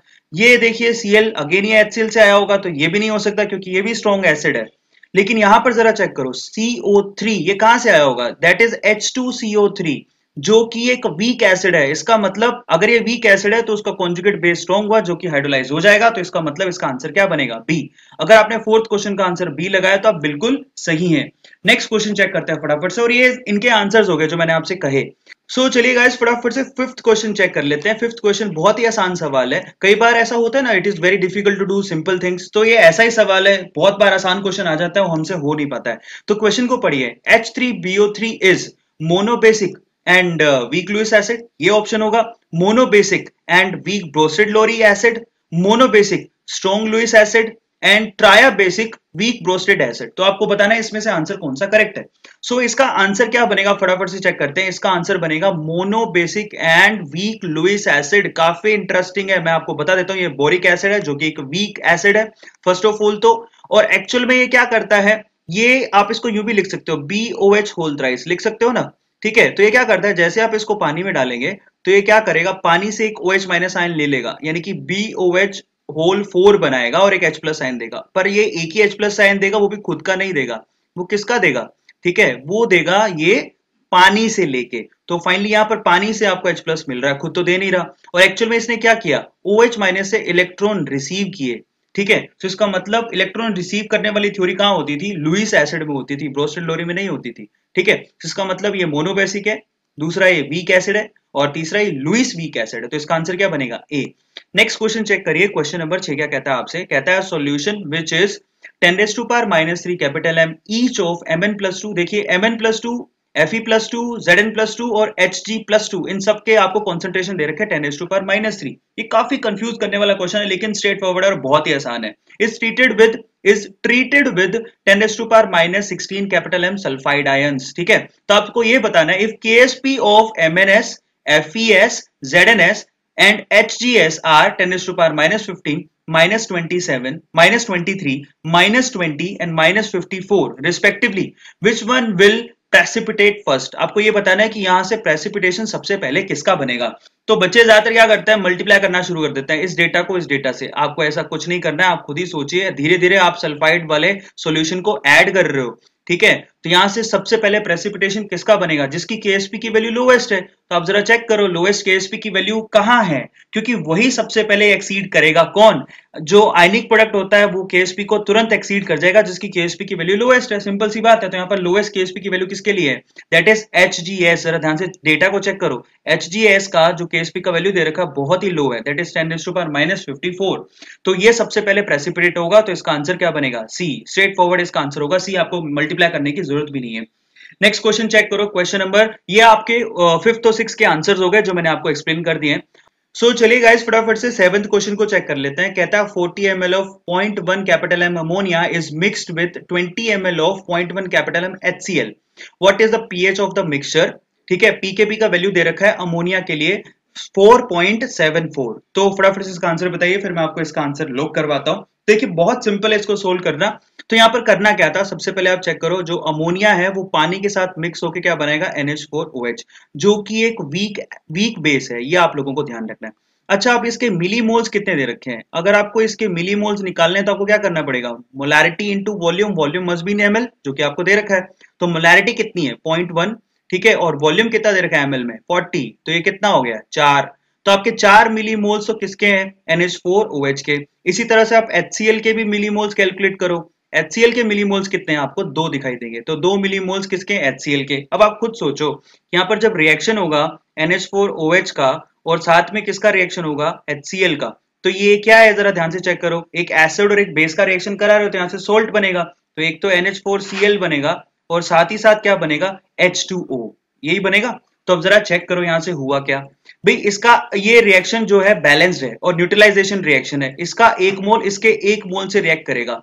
तो एक्चुअल में HCl के कितने मिली मोल्स है? दो। तो इसके भी तो दो ही मिली मोल्स रिएक्ट करेंगे। तो एक्चुअल में NH4OH के, जो कि एक वीक बेस है वीक बेस के आपके पास क्या बच जाएँगे? दो मिली मोल्स बच जाएँगे। Guys this is again so much interesting दो मिली मोल्स बच गए। वीक बेस के दो मिलीमोल्स बच गए। अच्छा अब NH4OH जो कि एक सॉल्ट है, ठीक है, उसका ये ये जो आपके पास वीक एसिड दे रखा है, उसका कॉन्जुगेट बेस का ही सोल्ट है। तो ये कितना बना, जरा चेक करो। ये सोल्ट आपके पास कितना बना, देखिए जरा ध्यान से। यहाँ पर इसके एक से इसका एक बनता था, इसके दो से अगर ये दो बन रहे हैं तो ये भी कितना बनेगा? दो दो मिलीमोल बनेंगे। सो इसके दो मिलीमोल बने। तो जरा चेक करो। यहाँ पर NH4OH के दो मिलीमोल बच गए, और जो कि एक वीक बेस है। और यहाँ पर ये जो सोल्ट है उसका कॉन्जुगेट वाला, उसके दो मिलीमोल बन गए। तो ये तो एक बफर सॉल्यूशन हो गया।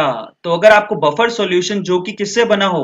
वीक बेस से, और उसके कॉन्जुगेट सोल्ट से बना हो तो आप उसका फॉर्मूला लगा के तुरंत पीएच का वैल्यू निकाल सकते हैं, जो कि अभी मैं आपको थोड़ी देर में बताता हूँ कैसे निकलेगा। तो फटाफट से मैंने आपको क्लू तो दे ही दिया है। तो इसका आंसर कैसे निकालना है? देखो, यहाँ पर पीओएच का आपको वैल्यू निकालना है। ठीक है, क्योंकि ये क्या है? वीक बेस और उसके कॉन्जुगेट सोल्ट का आपके पास सॉल्यूशन है। ठीक है तो इसके आप पीओएच कैसे निकलेगा? That is P K B जिसकी वैल्यू आपको दे रखी है। प्लस लोग ऑफ़ आप ऊपर क्या लगाना है? सोल्ट का कॉन्सेंट्रेशन ये आपको याद होगा। अपॉन नीचे क्या लगाना है? वीक बेस का कॉन्सेंट्रेशन फटाफट से ये लगा के आंसर लगाइए। बहुत सिंपल है, इसका आंसर क्या बनेगा? इसका आंसर यहाँ पर बन के आएगा सी क्योंकि आपको पीएच का वैल्यू निकालना है। क्यों? तो पीएच क्या होगा? दैट इज़ 14 माइनस पीओएच ये आपको ध्यान रखना है 14 माइनस पीओएच तो यहाँ पर पीएच का वैल्यू आपको निकालना था, जो कि आंसर आपका इसका सी बनेगा। फटाफट से आप निकालिए, फिर मैं आपको इसका आंसर आगे दिखा भी देता हूँ। इतने में हम लोग नेक्स्ट क्वेश्चन चेक कर लेते हैं। फिर दोनों को एक साथ दिखा दूँगा, ठीक है? So finally question number eight so so, चलिए गाइस फटाफट से क्वेश्चन नंबर एट को चेक करते हैं। क्वेश्चन नंबर एट क्या कहता है? The ionisation constant for ammonium hydroxide आपको अमोनियम हाइड्रोक्साइड के लिए आयनाइजेशन कांस्टेंट दे रखा है। ठीक है? At 298 kelvin hydrolysis constant for ammonium chloride ये इंटरेस्टिंग क्वेश्चन है। फटाफट इसका बताइए इसका आंसर क्या होगा? तो यहाँ पर देखिए हाइड्रोलिसिस कांस्टेंट आपके पास के का जो वैल्यू होता है ठीक है? वो किसके लिए? फॉर अ सोल्ट जो किससे बना हो? वीक बेस से बना हो। तो के एच का वैल्यू कैसे निकलेगा? बहुत सिंपल है। That is K W upon K B very straightforward अगर आप एक बार थ्योरी देखें तो आपको मालूम पड़ जाएगा। तो के डब्ल्यू को आपको के बी से डिवाइड करना है। 298 का मतलब रूम टेम्परेचर हो गया। तो इसका वैल्यू कितना होगा? Ten s to power minus fourteen को आपको किससे डिवाइड कर देना है? के बी से डिवाइड कर देना है। ठीक है? के बी की वैल्यू कितनी है? 1.77 into ten to power minus five आपके पास स्ट्रेट फॉरवर्ड आंसर आ जाएगा। तो चलो दोनों क्वेश्चन के आंसर दिखा देता हूँ आप लोगों को, ताकि आप लोगों को आइडिया हो जाए। तो सेवंथ और एट के आंसर देखिए। जैसा कि मैंने आपसे कहा था 20 एम लिया आपने पॉइंट वन लिया तो मिलीमोल्स कितने हो गए? दो मिलीमोल्स मैंने आपको बताया था।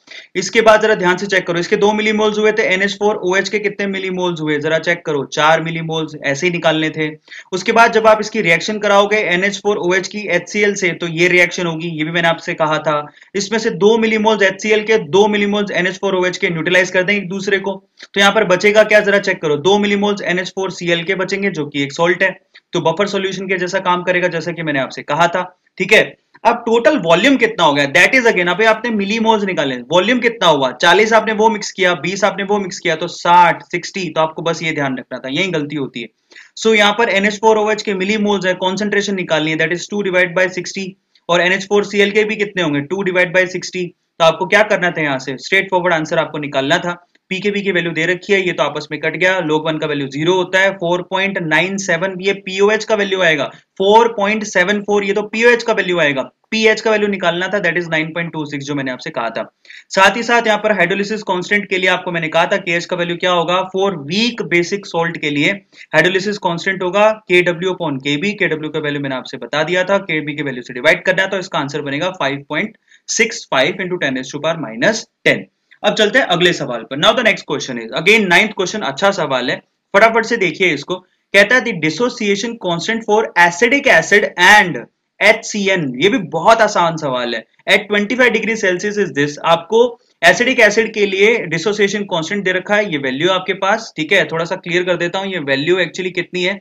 ये वैल्यू आपकी बन रही है five one point five into ten to power minus five और एच सी एन के लिए कितना दे रखा है? Four point five into ten to power minus ten respectively the equilibrium constant for the for the equilibrium आपके पास ये इक्लिब्रियम दे रखा है। इसके लिए इक्लिब्रियम कॉन्स्टेंट पूछा है। बहुत आसान है। एक्चुअली इस रिएक्शन का जो इक्लिब्रियम कांस्टेंट बनेगा, वो इतना आसान है कि आपको क्या करना है? एसिडिक एसिड जो कि आपके पास यहाँ दिखाई दे रहा है, ठीक है? एसिडिक एसिड का आपके पास जो कि इक्लिब्रियम कांस्टेंट है, उसको डिवाइड कर देना है HCN के इक्लिब्रियम कांस्टेंट से। सिंपल अब ये कैसे आया?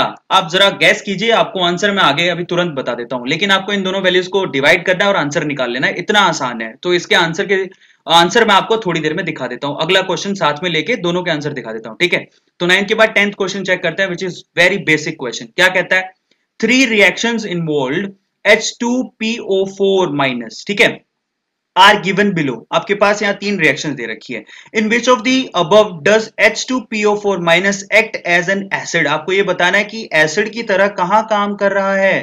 तो आपको ये सिंपल सा आंसर करना है तो फटाफट से देखिए। एसिड क्या होता है? एसिड वो जो कि H प्लस आइन क्या करे? डोनेट करे। सिंपल सी बात है। तो जरा पहले एग्ज़ाम्पल में चेक करो। देखिए, यहाँ पर आपको ये दे रखा है H2PO4 अब ये H2PO4 माइनस जो आपको दिखाई दे रहा है, आप ये देखिए H3PO4 एसिड हुआ।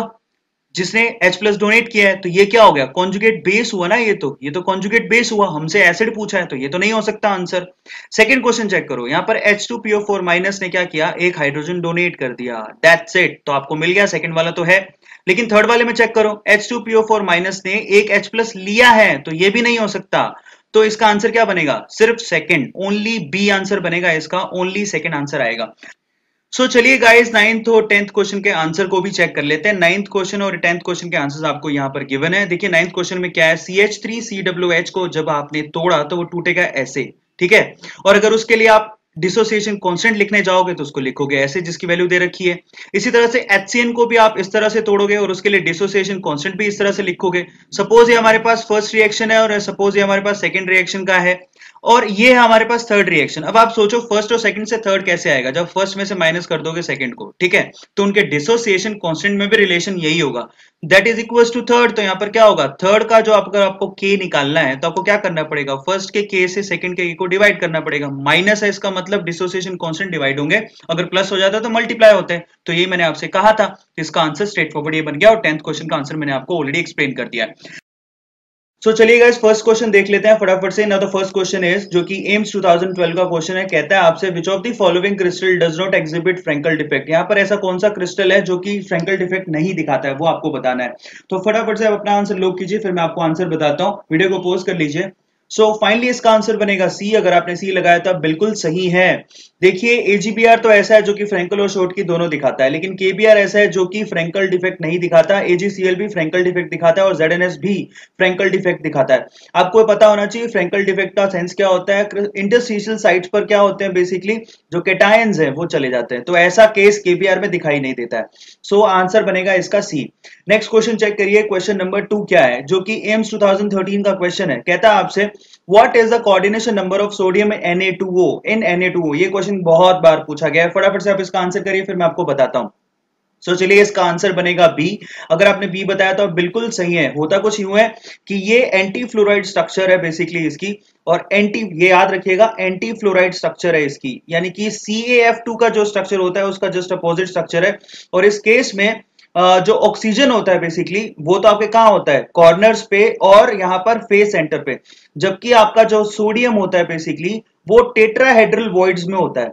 सो so, यहाँ पर टेट्राहेड्रल वॉइड्स में आपको ध्यान रखना है। टेट्राहेड्रल वॉइड में अगर आप एक रख रहे हो किसी भी एक कैटायन को तो उसको कितने आयन घेर रखे होंगे? चार ऑब्वियसली तो यहाँ पर आंसर कितना बनेगा इसका बी दोनों आंसर्स के मैं आपको दर्शन करा देता हूँ कि ये दोनों सही है या गलत तो फटाफट से चेक कर लो। दीज आर दी आंसर्स देखिए यहाँ पे मैंने आपसे कहा था कि केबीआर एग्जिबिट नहीं करता है तो मैंने आपको बता दिया केबीआर एग्जिबिट शॉर्ट की बट नॉट फ्रेंकल डिफेक्ट दूसरा Na2 का जो स्ट्रक्चर होता है उसमें O2 आयन जो है वो FCC पे डिपॉजिट होता है। जबकि Na प्लस कहाँ पर होता है? बेसिकली टेट्राहेड्रल वॉइड्स में होता है। तो टेट्राहेड्रल वॉइड्स में इसका मतलब कोऑर्डिनेशन नंबर उसका कितना होगा? चार। नेक्स्ट टू क्वेश्चन चेक कर लेते हैं फटाफट से, जो कि एम्स 2014 का क्वेश्चन है गाइस बहुत ही इंटरेस्टिंग क्वेश्चन है।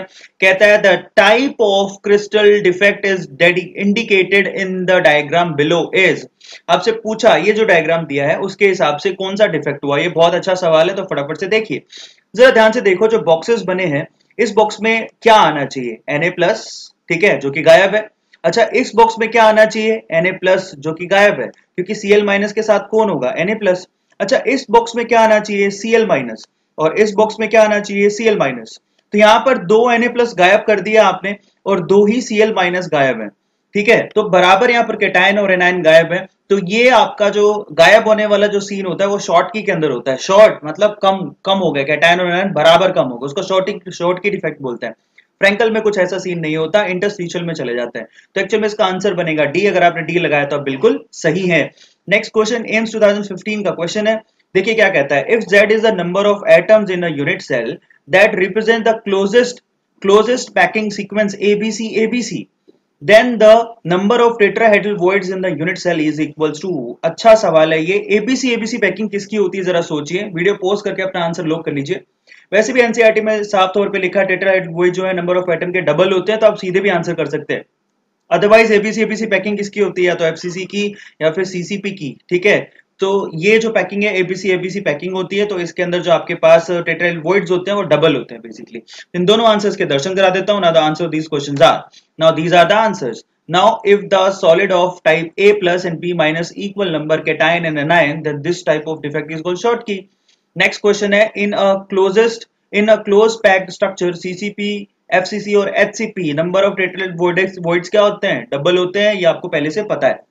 अगले दो सवाल चेक कर लेते हैं फटाफट से, जो कि डी DPMT 2019 2009 का क्वेश्चन है डेली थाउज़ेंड नाइन का क्वेश्चन है।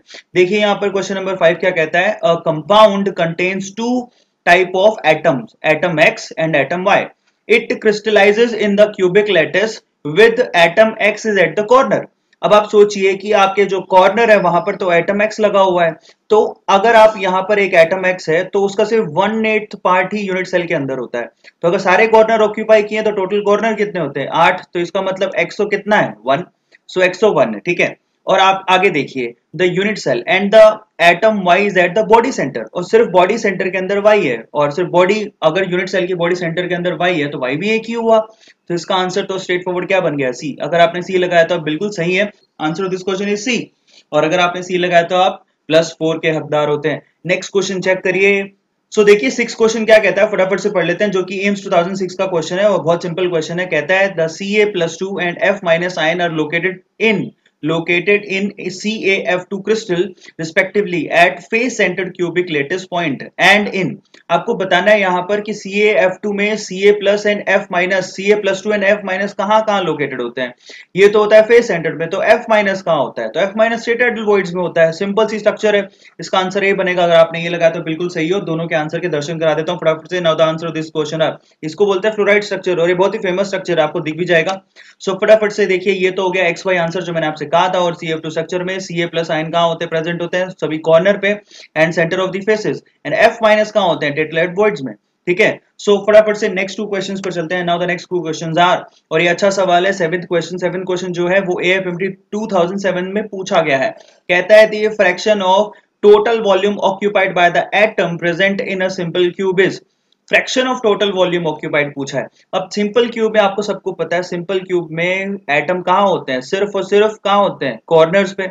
और हमको सबको पता है कि कॉर्नर होते हैं टोटल आठ और एक एटम वन एट पार्ट ही ऑक्यूपाई करता है। तो टोटल एटम कितने हो गए? वन और हमें पता है कि एक एटम क्या होता है? स्फेरिकल होता है। और उसका अगर मैंने रेडियस आर मान लिया तो बताइए आप एक एटम के रिस्पेक्ट में टोटल वॉल्यूम कितना हो गया? That is four by three pi r cube यही तो हुआ। अगर आर में आपने क्या माना है? अगर आर आपने उसकी रेडियस मानी है तो। तो ये वॉल्यूम जो है ऑक्यूपाई कर रहा है कौन? एटम और टोटल वॉल्यूम कितना जरा सोचिए। यहाँ पर टोटल वॉल्यूम अगर मैं इसकी एज लेंथ को ए मान लू तो टोटल वॉल्यूम जो आपके पास अवेलेबल है, वो है ए क्यूब और हम सिंपल यूनिट के लिए जानते हैं कि यहाँ पर सबको पता है कि ए इज़ इक्वल टू क्या होता है? ट्वाइस ऑफ़ आर सो यहाँ पर टोटल वॉल्यूम कितना हो गया? आर के रिस्पेक्ट में। That is eight r cube सही है? तो यहाँ पर फ्रैक्शन कितना हो गया जरा चेक करो। तो अगर आपको फ्रैक्शन पूछा है तो फ्रैक्शन कितना आएगा? आपको इस डेटा को डिवाइड कर देना है। Four by three pi r cube को आपको डिवाइड कर देना है किससे? एट आर क्यूब से। तो फाइनली अगर आपने इसके डिवाइड कर दिया तो आर क्यूब से आर क्यूब कैंसिल हो गया। फोर टू एट होता है तो कितना आ गया? Pi by six. दो answer this question is B. Pi by six. इस आंसर के दर्शन में आपको आगे करा दूँगा। बट इसका आंसर क्या बनेगा? पाई बाई सिक्स जो मैंने यहाँ पर दिखा दिया। क्वेश्चन नंबर एट को चेक करते हैं फटाफट से। क्वेश्चन नंबर एट इज़, कहता है metallic crystal has BCC type of stacking pattern BCC type का स्टैकिंग पैटर्न है। कहता है what is the percentage of volume of this lattice is empty space आपसे पूछा एम्प्टी स्पेस बताना है। ठीक है percentage of volume of this lattice is empty space तो देखिए, बहुत अच्छा सवाल है। फटाफट से आप बताइए इसका आंसर क्या बनेगा। तो आपको क्लियर कर देता हूँ। अगर आप लोग यहाँ पर बात करें बीसीसी की तो यहाँ पर 68 परसेंट ऑक्यूपाइड होता है तो इसका मतलब एम स्पेस कितना हो गया? 32 परसेंट इसका आंसर बनेगा बी अगर आपने बी लगाया तो। बिल्कुल सही है, दोनों क्वेश्चन के आंसर के दर्शन करा देता हूँ। ये देखिए, पहला जो सवाल था, वो इस तरह से होना था, जो मैंने आपको करके दिखा दिया है। फाइव बाई सिक्स आंसर आएगा। और दूसरा बीसीसी के अंदर सिक्सटी होता है तो रिमेनिंग एम कितना होता है? थर्टी सो चलिए गाइज़ लास्ट टू क्वेश्चन ले लेते हैं। नंबर नाइन्थ क्वेश्चन क्या कहता है? If if a stand for edge length of the cubic system for simple simple body centered and face centered. Then the ratio of, the ratio of the radius of these spheres in these system are respectively. ये अच्छा सवाल है और simple question है। फटाफट से आप इसका आंसर करिए, फिर मैं आपको बताता हूँ। देखिए सिंपल के लिए सिंपल के लिए हम लोग बात करें तो हमको सबको पता है कि यहाँ पर twice of r is equal to क्या होता है? ए यानी कि आर इज़ इक्वल टू क्या हो गया? ए बाई टू ठीक है? So r equal to a by two for simple उसके बाद हम लोग बात करते हैं बॉडी सेंटर के लिए. सो बॉडी सेंटर के लिए क्या होता है? जरा याद करो that is four r is equal to root three a ठीक है? So finally r is equal to कितना हो गया? Root three a by four याद है आप लोगों को? या आपने निकाला होगा? ठीक है? एनसीआरटी में भी गिवन है, कैसे दिया होता है? और लास्ट है गया फेस सेंटर तो फेस सेंटर के लिए होता है four r is equal to root two a so finally r is equal to कितना हो गया? Root two a by four या फिर आर इज़ इक्वल टू क्या कह सकते हैं? A by two root two तो फटाफट से इसका आंसर देखिए क्या बनेगा इसका आंसर बनेगा ए अगर आपने ए लगाया तो बिल्कुल सही है। सो so, चलिएगा इस लास्ट क्वेश्चन ले लेते हैं। फटाफट से टेंथ क्वेश्चन क्या पूछा है? A B crystallizes in a body centre cubic lattice with edge length a equal to 387 picometre the distance between the two oppositely charge ion in the lattice is A F M T two thousand ten का question है। फटाफट से आप इसका answer करिए फिर मैं आपको इसका आंसर बताता हूँ। सो so, देखिए एक्चुअली सीन कुछ ऐसा है कि बॉडी सेंटर का एग्जांपल होता है आपके पास सीजियम क्लोराइड ये तो आपको पता होगा। और बॉडी सेंटर में ऐसा क्यों होता है? क्योंकि सीजियम क्लोराइड आंसर कैसे हो गया? क्योंकि इन दोनों केटाइंस और एन के साइज़ ऑलमोस्ट सिमिलर होते हैं। अब आप दिमाग लगाइए यहाँ पे कि आपसे पूछा क्या है। आपको एज लेंथ दिया हुआ है ए जिसकी वैल्यू आपको दे दी तो आपको पूछता है केटाइन और एन के बीच का डिस्टेंस यानी कि ये अगर आपके पास मैं यूनिट सेल बोलूँ सो यहाँ पर सीन कुछ ऐसा है कि इस यूनिट सेल में बीचों बीच यानी कि यहाँ पर सीजियम है और यहाँ पर आपके पास क्या है? क्लोरीन सो ये क्लोरीन हो गया और ये सीजियम है. तो फाइनली सीन कुछ ऐसा है कि आपको इसके जो सेंटर पॉइंट और इसका जो सेंटर पॉइंट है इन दोनों के बीच का जो डिस्टेंस है वो आपको निकालना है. ठीक है? तो फटाफट से आंसर दीजिए फिर मैं आपको इसका आंसर बताता हूँ. तो चलिए इन, इनका आंसर का दर्शन करा देता हूँ. ना the answer of this question is देखिए for body centre lattice distance between the two positively charge ions देखिए वो कितना होता है? That is d is equals to root three a by two यानी कि एक्चुअली मीन क्या है? जरा देखो। एक्चुअली यहाँ पर डायमीटर पूछ लिया गया ना? पहले रेडियस होता तो यहाँ पर डायमीटर पूछ लिया गया। तो बहुत सिंपल था। डायमीटर डायमीटर का मतलब ट्वाइस ऑफ़ रेडियस होता है। तो ट्वाइस ऑफ़ रेडियस वो डायमीटर होगा। तो हम लोग बॉडी सेंटर के लिए पहले से जानते हैं। क्या होता है? That is four r is equal to root three a ये तो होता है। Four r is equal to root three a actual में केटाइन और एनाइन का साइज़ इक्वल होता है इसलिए हम लोग कह सकते हैं केटाइन और एनाइन का रेडियस ऑलमोस्ट इक्वल है। तो आपसे four r is equal to root three है। और आपसे पूछा है टू आर की वैल्यू ठीक है? यानी कि आपको डायमीटर पूछ लिया गया। So two r is equal to क्या होगा? That is root three a by two तो यहाँ पर root three a by two use कर लिएगा फॉर्मूला और उसकी वैल्यू उठा के रख दी गई और थ्री थर्टी फाइव आंसर आ गया। सो so, ये इसका आंसर बनेगा। तो फाइनली थ्री थर्टी फाइव इसका आंसर है यानी कि आंसर इसका बनेगा। डी अगर आपने डी लगाया तो बिल्कुल सही है। ये रहा आपका सोल्यूशन तो फ़र्स्ट क्वेश्चन क्या है? जरा चेक कीजिए। कहता है the van't Hoff factor for point one capital M B NO three whole twice solution is आपको वेंट ऑफ़ फैक्टर यानी कि आई का वैल्यू दे दिया। ठीक है? सो आई का वैल्यू कितना है? दैट इज़ 2.74 ठीक है? सो फाइनली आपसे पूछता है कि डिग्री ऑफ़ डिसोसिएशन क्या होगा? तो ये अच्छा सवाल है तो फटाफट से इसका आंसर दीजिए। तो देखिए, आपका आंसर क्या आता है? फिर मैं आपको इसका आंसर बताता हूँ। एक्चुअली इसका आंसर बनेगा बी 87 परसेंट अगर आपने 87 परसेंट निकाला है तो बिल्कुल सही है। फ़र्स्ट ऑफ़ ऑल तो डिसोसिएशन होगा, क्योंकि यहाँ पर एक सोल्ट दे रखा आपको B A N O three whole twice अब देखिए, जरा ये टूटेगा तो कैसे टूटेगा? एक तो बी ए प्लस आयन देगा आपको, और साथ में क्या देने वाला है ये? आपको दो N O three minus two minus ion देने वाला है, ठीक है? सो so फाइनली यहाँ पर सबसे पहले ये सोचिए कि एक्चुअल में ये टोटल कितने आयन दे रहा है? एक तो बी ए प्लस और दूसरे दो क्या दे रहा है? एन ओ थ्री माइनस तो टोटल एन का वैल्यू कितना हो गया यहाँ पर? तीन, ठीक है? आई का वैल्यू आपको गिवन है दैट इज़ 2.74 तो आप सीधा डिसोसिएशन के लिए फॉर्मूला लगा सकते हैं degree of dissociation for alpha is equals to i minus one upon n minus one ये सिंपल सा फॉर्मूला है, जिसमें वैल्यू को पुट करना है आई का वैल्यू रख दीजिए। So alpha is equals to how much i की वैल्यू कितनी है? 2.74 ठीक है? माइनस क्या कर देना वन डिवाइडेड बाई एन की वैल्यू कितनी है? थ्री माइनस वन तो जब आप इसको सोल्व करेंगे, इसका आंसर कितना आएगा? इंटू क्या करना है? हंड्रेड ठीक है? तो 100 से जब आप इसको मल्टीप्लाई कर देंगे तो इंटू हंड्रेड करने पर करने पर आपका कितना आंसर आएगा? 87 परसेंट अराउंड आंसर आएगा। सो so, इसको एक करने का तरीका ये है जो सीधे फॉर्मुले से कर सकते हो। दूसरा एक तरीका और है जो मैं आपको आगे बता दूँगा। सेकंड क्वेश्चन की तरफ़ मूव करते हैं। दोनों क्वेश्चन के आंसर एक साथ चेक करेंगे।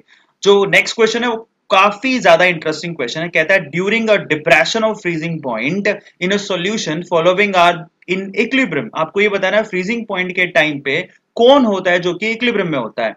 Liquid solvent solid solvent liquid solvent solid solute liquid solute solid solute liquid solute solid solvent बहुत अच्छा सवाल है और सिंपल क्वेश्चन है थियोरिटिकल क्वेश्चन है और जिसमें आपको without wasting any time ten second में इसका आंसर कर सकते हो अगर एग्ज़ाम में आता है तो। और ये पूछा गया क्वेश्चन है ठीक है? आई थिंक ये एम टी का क्वेश्चन है। सो so, देखिए ये इसका आंसर क्या बनेगा? तो एक्चुअल में इसका आंसर बनेगा। तो बताइए आपको आता है क्या? सो फाइनली इसका आंसर बनेगा ए अगर आपने ए लगाया तो आप बिल्कुल सही है, क्योंकि सोल्यूट जो होता है, आपने पढ़ा होगा सोल्यूट का कुछ नहीं बिगड़ता है। सोल्यूट जो है, ना तो वो जमता है, ना बॉइल होता है। तो जो कुछ भी होता है सोलवेंट का होता है। तो यहाँ पर जो सोलवेंट यानी कि एच लिक्विड जो है वही क्या होता है reversibly H two O solid के साथ होता है, यानी कि सोलवेंट का होता है, जो कुछ भी होता है सोल्यूट का कुछ नहीं होता। सो फाइनली लिक्विड सोलवेंट जो है, वो सॉलिड सॉल्वेंट के साथ इक्विलिब्रियम में होता है। ए आंसर है। It's a quite interesting question next question check करते हैं। ये इनके आंसर्स हो गए जो मैंने आपसे कहा था। फ़र्स्ट क्वेश्चन को आप इस तरीके से भी कर सकते हैं। आप यहाँ पर क्या कीजिए? ये तरीका है वैसे बाय द वे ठीक है? फॉर्मुला निकालने का। अगर आपको अगर आपको फॉर्मुला याद है that is i is equals to क्या था? याद करो। Sorry alpha is equals to क्या था? Alpha is equals to i minus one upon n minus one actually वो इसी प्रोसेस से आया अगर आप चाहो तो ये प्रोसेस से भी कर सकते हो। जो मैंने आपको सेकंड क्वेश्चन का आंसर बताया, वो मैंने आपको क्लियर कर दिया।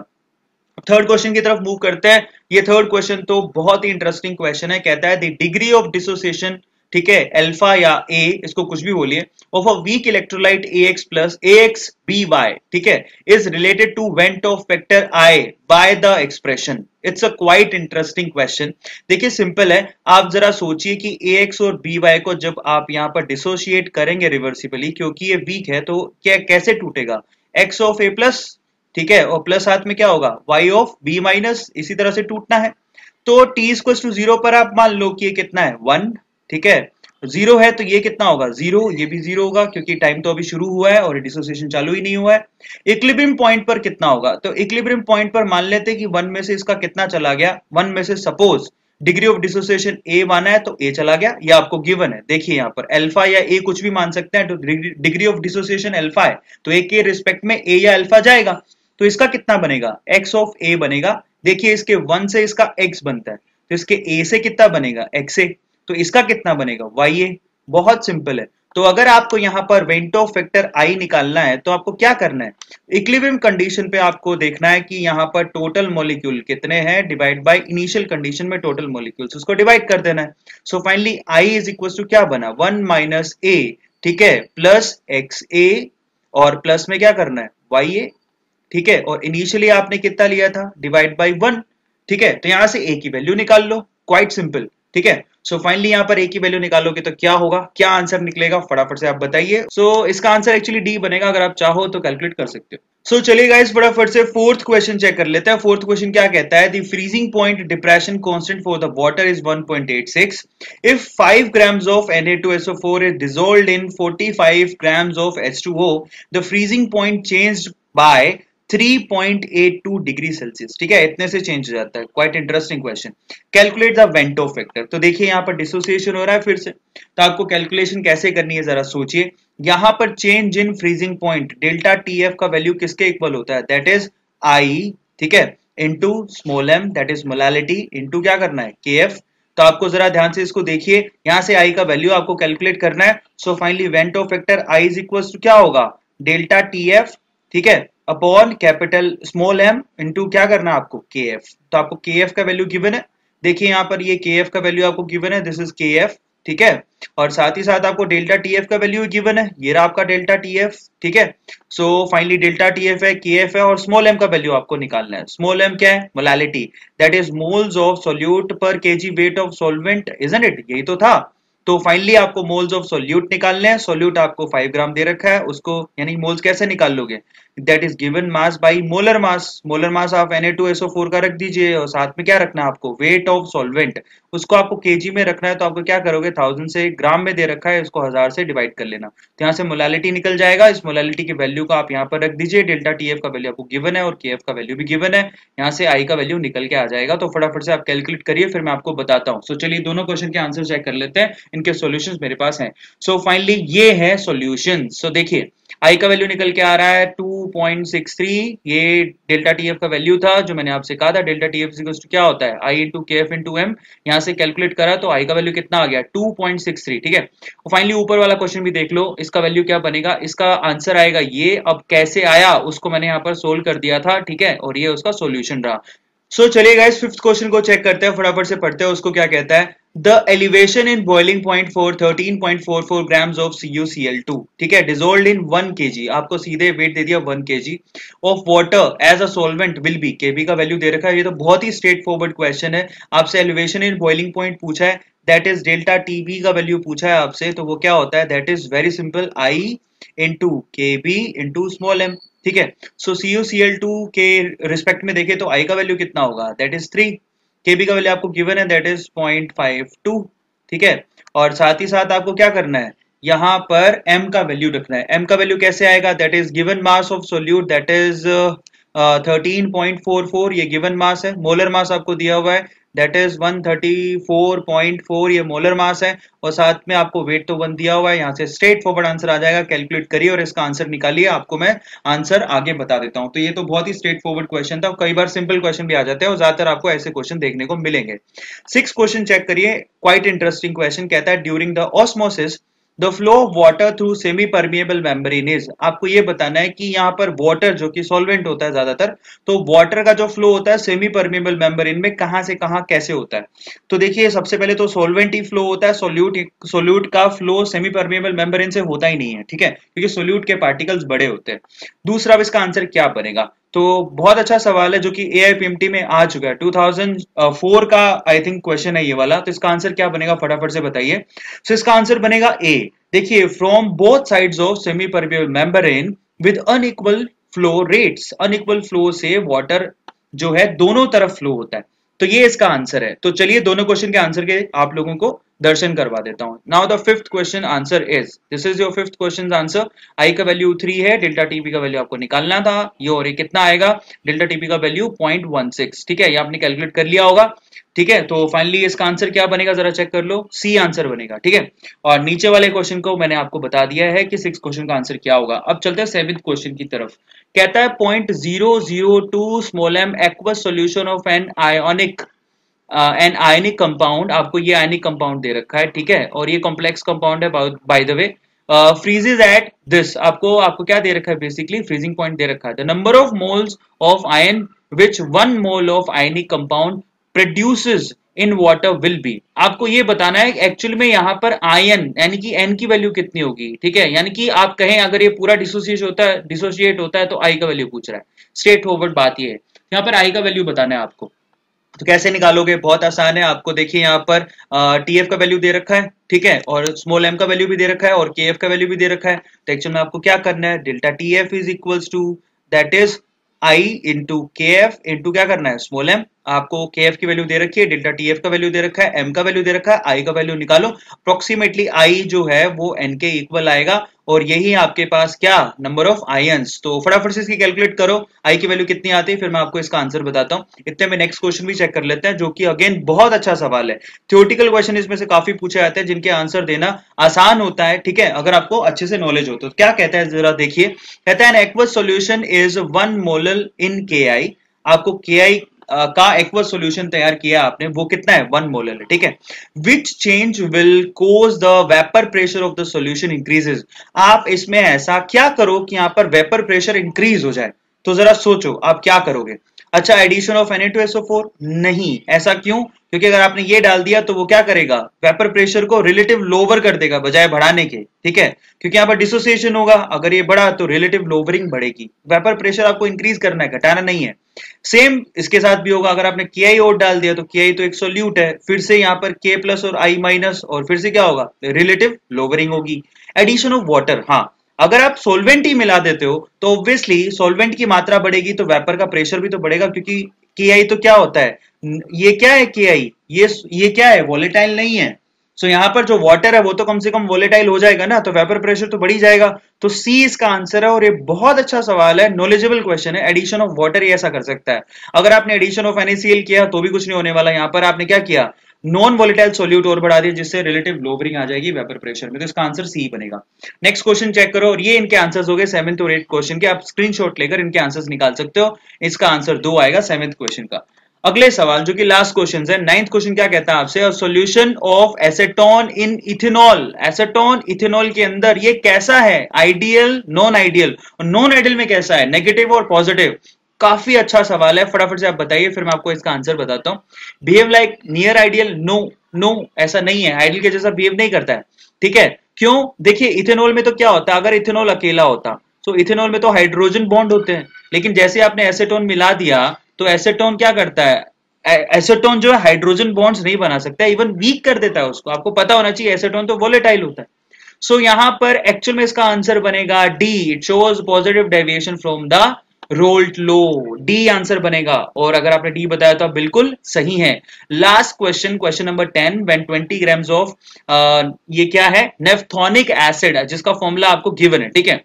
Is dissolve in fifty grams of benzene K की वैल्यू आपको दे रखी है। Freezing point depression is two kelvin now this is two kelvin is it is observe the van't factor is ये भी बहुत ही स्ट्रेट फॉरवर्ड क्वेश्चन है। तो यहाँ पर डेल्टा टी एफ़ का वैल्यू किसके इक्वल होगा? That is I into K F into small M तो आपको आई का वैल्यू फाइनली आपसे पूछा क्या है? वेंटो फैक्टर ही तो पूछा है। तो आई का वैल्यू आपसे पूछा है तो वो क्या होगा? डेल्टा टी एफ़ अपॉन क्या करना है आपको? के एफ़ इंटू एम और ये क्वेश्चन काफ़ी बार पूछे जाते हैं। यहाँ से डेल्टा टी एफ़ का वैल्यू आपको गिवन है। ये रहा, आपको के एफ़ का वैल्यू भी गिवन है। वो है ये रहा और स्मॉल एम का वैल्यू आपको निकालना है। स्मॉल एम का वैल्यू कैसे निकलेगा? इसका क्या करो यहाँ पर? ट्वेंटी ग्राम है। इसको आप किसके मोलर मास से डिवाइड कर दो। फाइनली यहाँ फिफ्टी ग्राम दे रखा है। इसको थाउज़ेंड से डिवाइड करो क्योंकि केजी में रखना है, जिससे एम का वैल्यू निकल जाएगा। और फटाफट से आई का वैल्यू कैलकुलेट करके बताओ। इन दोनों आंसर्स के मैं आपको दर्शन करवा देता हूँ। Nine the ninth question answer is नौवे क्वेश्चन का आंसर ये बनता है solution of acetone ethanol positive deviated होते हैं। और टेंथ क्वेश्चन का आंसर ये रहा जिसका स्क्रीनशॉट लेके आप देख सकते हैं यहाँ पर आई का वैल्यू पॉइंट फाइव होगा ठीक है? सो so, इसका आंसर आएगा पॉइंट फाइव ए क्वेश्चन क्या कहता है? The sequence of ionic mobility this is so much important again ionic mobility in aqueous solution is यहाँ पर आपको यह बताना है कि यहाँ पर आयनिक मोबिलिटी किस आयन की किसकी सबसे ज़्यादा होगी? ऑर्डर बताना अपना आंसर लॉक कर लो फिर मैं आपको बताता हूँ। सो so, क्या गाइस आपने अपना आंसर लॉक कर लिया? तो मैं आपको बताऊँ। सो एक्चुअल में इसका आंसर बनेगा बी ये कैसे हो गया? आपको एक्चुअली एक्वस सॉल्यूशन में पूछा है। ये काफ़ी इंटरेस्टिंग है क्योंकि यहाँ पर सबसे छोटा साइज़ किस आयन का है? सोडियम का।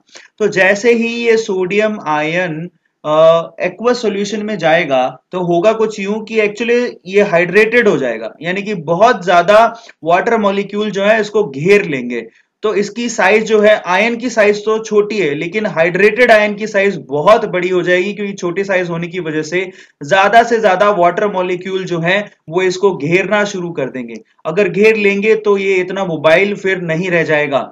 इसका मतलब सबसे ज़्यादा मोबाइल कौन है? सी एस प्लस टू यहाँ पर बच्चे गलतियाँ करते हैं तो आपको क्लियर कर देता हूँ। अगर साइज़ का ऑर्डर देखे तो एनए प्लस सबसे छोटा साइज़ का है, ठीक है? लेकिन अगर मैं बात करूँ हाइड्रेटेड की तो एनए प्लस सबसे बड़ा हो जाएगा, क्योंकि सबसे ज़्यादा वाटर मॉलिक्यूल इसी को घेरेंगे। तो इसका मतलब यहाँ पर सबसे ज़्यादा आयनिक मोबिलिटी एक्वस सॉल्यूशन में सीजियम आयन की है, फिर उसके बाद रुबीडियम की है, उसके बाद पोटेशियम की है, और उसके बाद सोडियम की है। यहाँ बच्चे गलतियाँ ऐसे करते हैं कि उनको लगता है कि सबसे बड़ा आयन तो कैसे इतना मोबाइल हो सकता है। लेकिन एक्वस सॉल्यूशन में पूछा गया है आपसे। इन दोनों के आंसर्स मैं आपको आगे भी चेक करा दूँगा। नेक्स्ट क्वेश्चन जो आपसे पूछा है, वो बहुत ही इंटरेस्टिंग है। अगेन कहता है ए एफ़ का क्वेश्चन है। क्या कहता है? The equivalent conductance of m by 3 uh, m by 32 isn't it ये molarity रखी है of solution for a weak monobasic acid is 8 moho centimeter square a gram equivalent inverse and at infinite dilution is 400 moho centimeter square gram gram equivalent inverse the dissociation constant for this weak acid ये काफ़ी interesting question है और बहुत बार पूछा जाता है देखो dissociation constant जो होता है के वो वीक एसिड के लिए होता है C alpha square upon one minus alpha ये सब चीज़ें आप इक्विलिब्रियम में पढ़ लेते हैं। अब यहाँ पर भी आपको सिखाई जाती है इलेक्ट्रोकेमिस्ट्री में।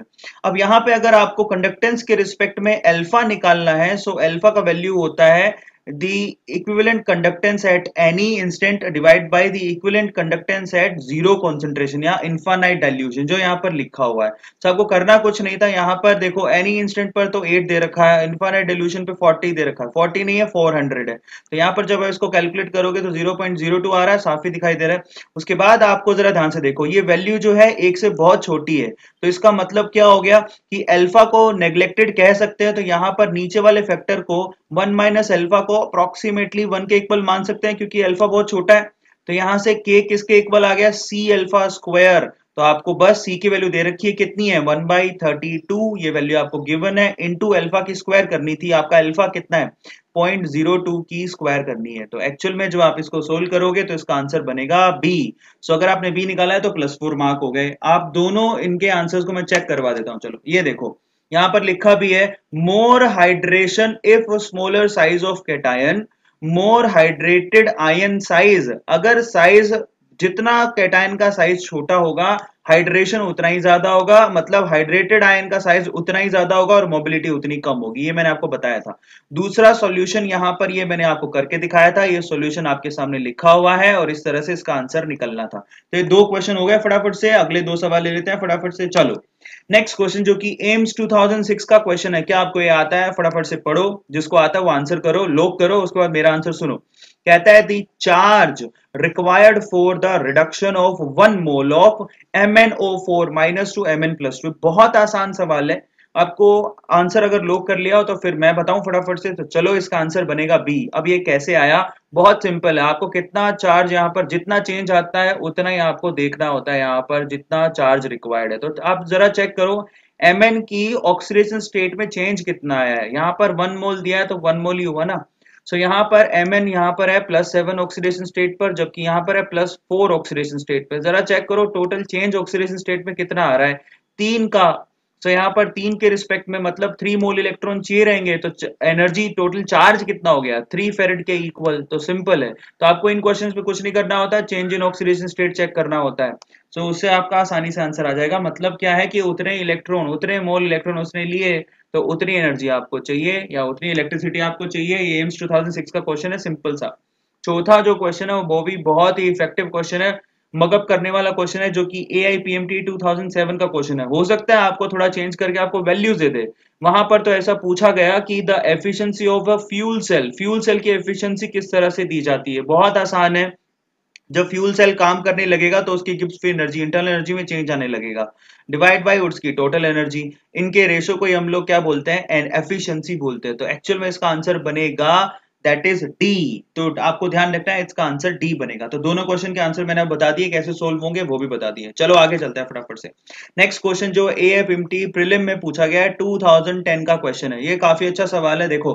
कहता है for a reduction of silver ion with copper metal at the standard cell potential was found to be this ठीक है? काफ़ी इंटरेस्टिंग है। सिल्वर और कॉपर का आपने एक सेल बनाया और उनका रिडक्शन पोटेंशियल स्टैंडर्ड वाला 25 डिग्री सेल्सियस पर आपका कितना आ रहा है? पॉइंट सेवन सिक्स तो पूछता है the value of standard Gibbs energy बहुत आसान सवाल है।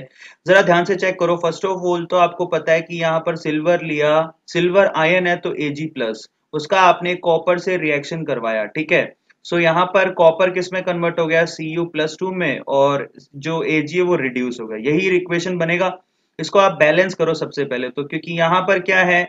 यहाँ पर चार्ज बैलेंस नहीं है। इस तरफ़ चार्ज है, एक उस तरफ़ दो तो यहाँ पर दो लगा दूँ, उसके बाद यहाँ भी दो लगा दूँ। तो आप बताइए कि एक्चुअल में यहाँ पर टोटल इलेक्ट्रॉन कितने ट्रांसफ़र हो रहे हैं? ये देखिए, यहाँ पर उसने दो इलेक्ट्रॉन सिल्वर ने लिए हैं, क्योंकि ये दो है और इसने दो दिए तो कॉपर ने दो दिए है ना? ये देखिए तो दो इलेक्ट्रॉन इसने दे दिए सो so, यहाँ पर दो इलेक्ट्रॉन लूज किए। तो यहाँ नंबर ऑफ़ इलेक्ट्रॉन की वैल्यू कितनी होगी? दो। अब चलते हैं गिब्स एनर्जी के फॉर्मूले पर। बहुत आसान है। That is minus N N F E naught of cell ये तो पता है। अब कुछ बचा नहीं है। माइनस एन की वैल्यू कितनी है? दो एफ़ की वैल्यू होती है nine six five double zero और ई e नॉट की वैल्यू आपको ऊपर दे रखी है पॉइंट फोर सिक्स तो इसको आप कैलकुलेट कर लो आपका आंसर आ जाएगा। And the answer of this question is kilo joule में आंसर है माइनस में है माइनस तो दिख ही रहा है that is B so actual में इसका आंसर बनेगा बी अगर आपने बी निकाला तो आपके प्लस फोर मार्क ईमानदारी से और गलत किया तो माइनस वन इन दोनों के आंसर्स मैं आपको आगे दिखा दूँगा, ठीक है? नेक्स्ट क्वेश्चन काफ़ी इंटरेस्टिंग क्वेश्चन है और ज़्यादातर बच्चे इसमें कंफ्यूजन में रहते हैं कि हमें करना क्या है। तो जरा ध्यान से इसको देखिए। बहुत बच्चे इसमें मुझसे सवाल पूछते रहते हैं तो आपको आपको आंसर देता हूँ। देखिए, सबसे पहले आपको E naught F E plus two से एफ़ ई का वैल्यू दे रखा है। E naught F E plus two से एफ़ ई ठीक है? ये आपको रिडक्शन पोटेंशियल दे रखा है जब आप एफ़ ई प्लस टू से एफ़ ई पर जाते हो।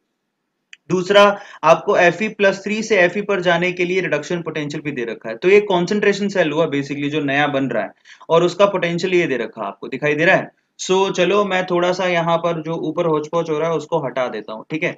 सो so, यहाँ पर देखिए ऊपर वाले क्वेश्चन को तो हमने कर लिया और इसका आंसर मैंने आपको बता दिया कि बी होगा। नीचे वाले क्वेश्चन को देखो आपको डेटा क्या गिवन है? एक तो ये डेटा गिवन है जिसमें रिडक्शन पोटेंशियल दे रखा प्लस टू से प्लस का और प्लस थ्री से प्लस का। अब ज़्यादातर बच्चे सोचते हैं सोचने लगते हैं कि यहाँ पर इसको गिब्स से सोल्व करना पड़ेगा। नहीं। आपको गिब्स वाला फॉर्मूला तभी लगाना होता है जब आपको तीसरा सेल पूछा और उसमें कोई इलेक्ट्रॉन दिखे हो। तो देखिए, आपको क्या पूछा? The standard EMF of reaction इस रिएक्शन के लिए आपको बताना है कि ईएमएफ e कितना होगा। आप देखिए, जिसके लिए पूछा क्या उसमें कोई इलेक्ट्रॉन दिखाई दे रहा है क्या आपको? नहीं। तो आपको सीधे सीधे करना होता है इन सवालों को। आपको इसके लिए क्या फॉर्मूला लगाना होता है? That is E naught of cell is equals to E naught of oxidation potential plus E naught of reduction potential यही करते हो आप। आपको पता होना चाहिए। और एक्चुअल में बस जिसका ऑक्सीडेशन हो रहा है जरा उसको चेक कर लो, जिसका रिडक्शन हो रहा है जरा उसको चेक कर लो। तो आप देखो, यहाँ पर गौर से देखो, आप दोनों डेटा को देखो। ये देखिए, इसका रिडक्शन पोटेंशियल बहुत ही कम है। इसका मतलब इसका रिडक्शन तो नहीं हो सकता तो इसका तो ऑक्सीडेशन होगा। तो हमने डिसाइड कर लिया तो एक्चुअल में इसका ऑक्सीडेशन होगा तो इसका ऑक्सीडेशन पोटेंशियल कितना होगा? इसका रिडक्शन पोटेंशियल दे रखा आपको कितना? ये देखो, दोबारा बोल देता हूँ, इसका रिडक्शन पोटेंशियल माइनस में है। देखिए गौर से, दिख रहा है? इसका रिडक्शन पोटेंशियल प्लस में है। एक्चुअल में फिर इसका तो होगा ऑक्सीडेशन क्यों? क्योंकि इसका रिडक्शन पोटेंशियल माइनस में है। इसका रिडक्शन नहीं हो सकता और इसका होगा सेल में रिडक्शन तो चलो तो सेल कैसे बनेगा? सबसे पहले तो एफ़ जो है एफ़ प्लस टू में जाएगा। और यहाँ पर ये देखिए सॉल्ट ब्रिज और उसके बाद ये जो एफ़ ई प्लस थ्री है, वो किसमें कन्वर्ट होगा? एफ़ ई में। तो ये आपका पूरा सेल हो गया। इसको कॉन्सेंट्रेशन सेल बोलते हैं। तो करना कुछ नहीं है। जिसका ऑक्सीडेशन हो रहा है, उसका ऑक्सीडेशन पोटेंशियल ले लो। बताओ, उसका रिडक्शन पोटेंशियल दिए तो ऑक्सीडेशन पोटेंशियल कितना हुआ? प्लस में हो जाएगा ना? दैट इज़ यहाँ पर that is point four four one zero ये तो हो गया ऑक्सीडेशन पोटेंशियल पहले वाले का। ये देखो। क्योंकि इसका रिडक्शन पोटेंशियल माइनस में तो आपको प्लस लेना पड़ेगा ऑक्सीडेशन पोटेंशियल के लिए। प्लस रिडक्शन पोटेंशियल दूसरे वाले का point seven seven one zero दोनों को जोड़ दो और दोनों को जोड़ के आपका जो आंसर बनेगा, वो बनेगा ए दोनों को जोड़ लो। तो अगर आपने ये किया है तो बिल्कुल सही है। यहाँ पर कोई गिब्स एनर्जी का फॉर्मुले की ज़रूरत नहीं है। मैं आपको दोबारा स्पेसिफाई कर देता हूँ गिब्स की फॉर्मुले की ज़रूरत तभी पड़ती है जो आपको तीसरा सेल जो दिया है। उसके अंदर कुछ ना कुछ इलेक्ट्रॉन लेफ़्ट हो जाए, बच जाए। हाफ़ सेल के लिए ज़रूरत पड़ती है, पूरे के लिए नहीं। अगला सवाल, और ये इनके सोल्यूशन रहे, जो मैंने आपसे कहा था। देखो copper twice of AG plus copper plus two twice of AG उसके लिए आपको ईएमएफ की वैल्यू दे रखी है। डेल्टा जी नोट निकालना था minus N F E naught और ये वैल्यू आ गया उसका, ठीक है? कैलकुलेशन करने के बाद। जो अगला है, वो बहुत ही आसान है। चाहे तो आप इसको ऐसे सोल्व कर सकते हैं हाफ़ सेल के रिस्पेक्ट में। दोनों को तीन दो से मल्टीप्लाई किया तो छह छह इलेक्ट्रॉन थे, वो कट गए। या आप इसको यूँ कर सकते हैं कि इसका फुल सेल का ये बनेगा और फुल सेल के लिए हमारे पास फॉर्मूला होता है। दोनों वे से कर सकते हो आंसर सेम ही आएगा। अगले दो सवाल ले लेते हैं फटाफट से, जो कि A F M T two thousand eleven का क्वेश्चन है। जरा देखिए क्या आपको आता है, और अगर आपको आता है तो इसका मतलब आपके सॉलिड हैं, बहुत अच्छे कॉन्सेप्ट हैं। और एक्चुअल में ये ऐसा क्वेश्चन है जो किससे होगा?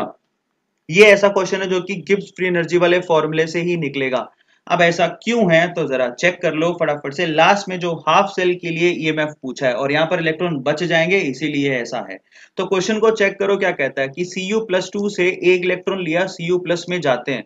और उसके लिए आपको ईएमएफ e दे रखा है, ये रहा पॉइंट वन फाइव जब आप Cu प्लस वन से एक इलेक्ट्रॉन लेके Cu में जाते हैं तो उसके लिए ईएमएफ e दे रखा है पॉइंट फाइव ठीक है? आपसे पूछता है कि बताओ फिर Cu प्लस टू से सी यू की तरफ़ जाएँगे तो कितना होगा?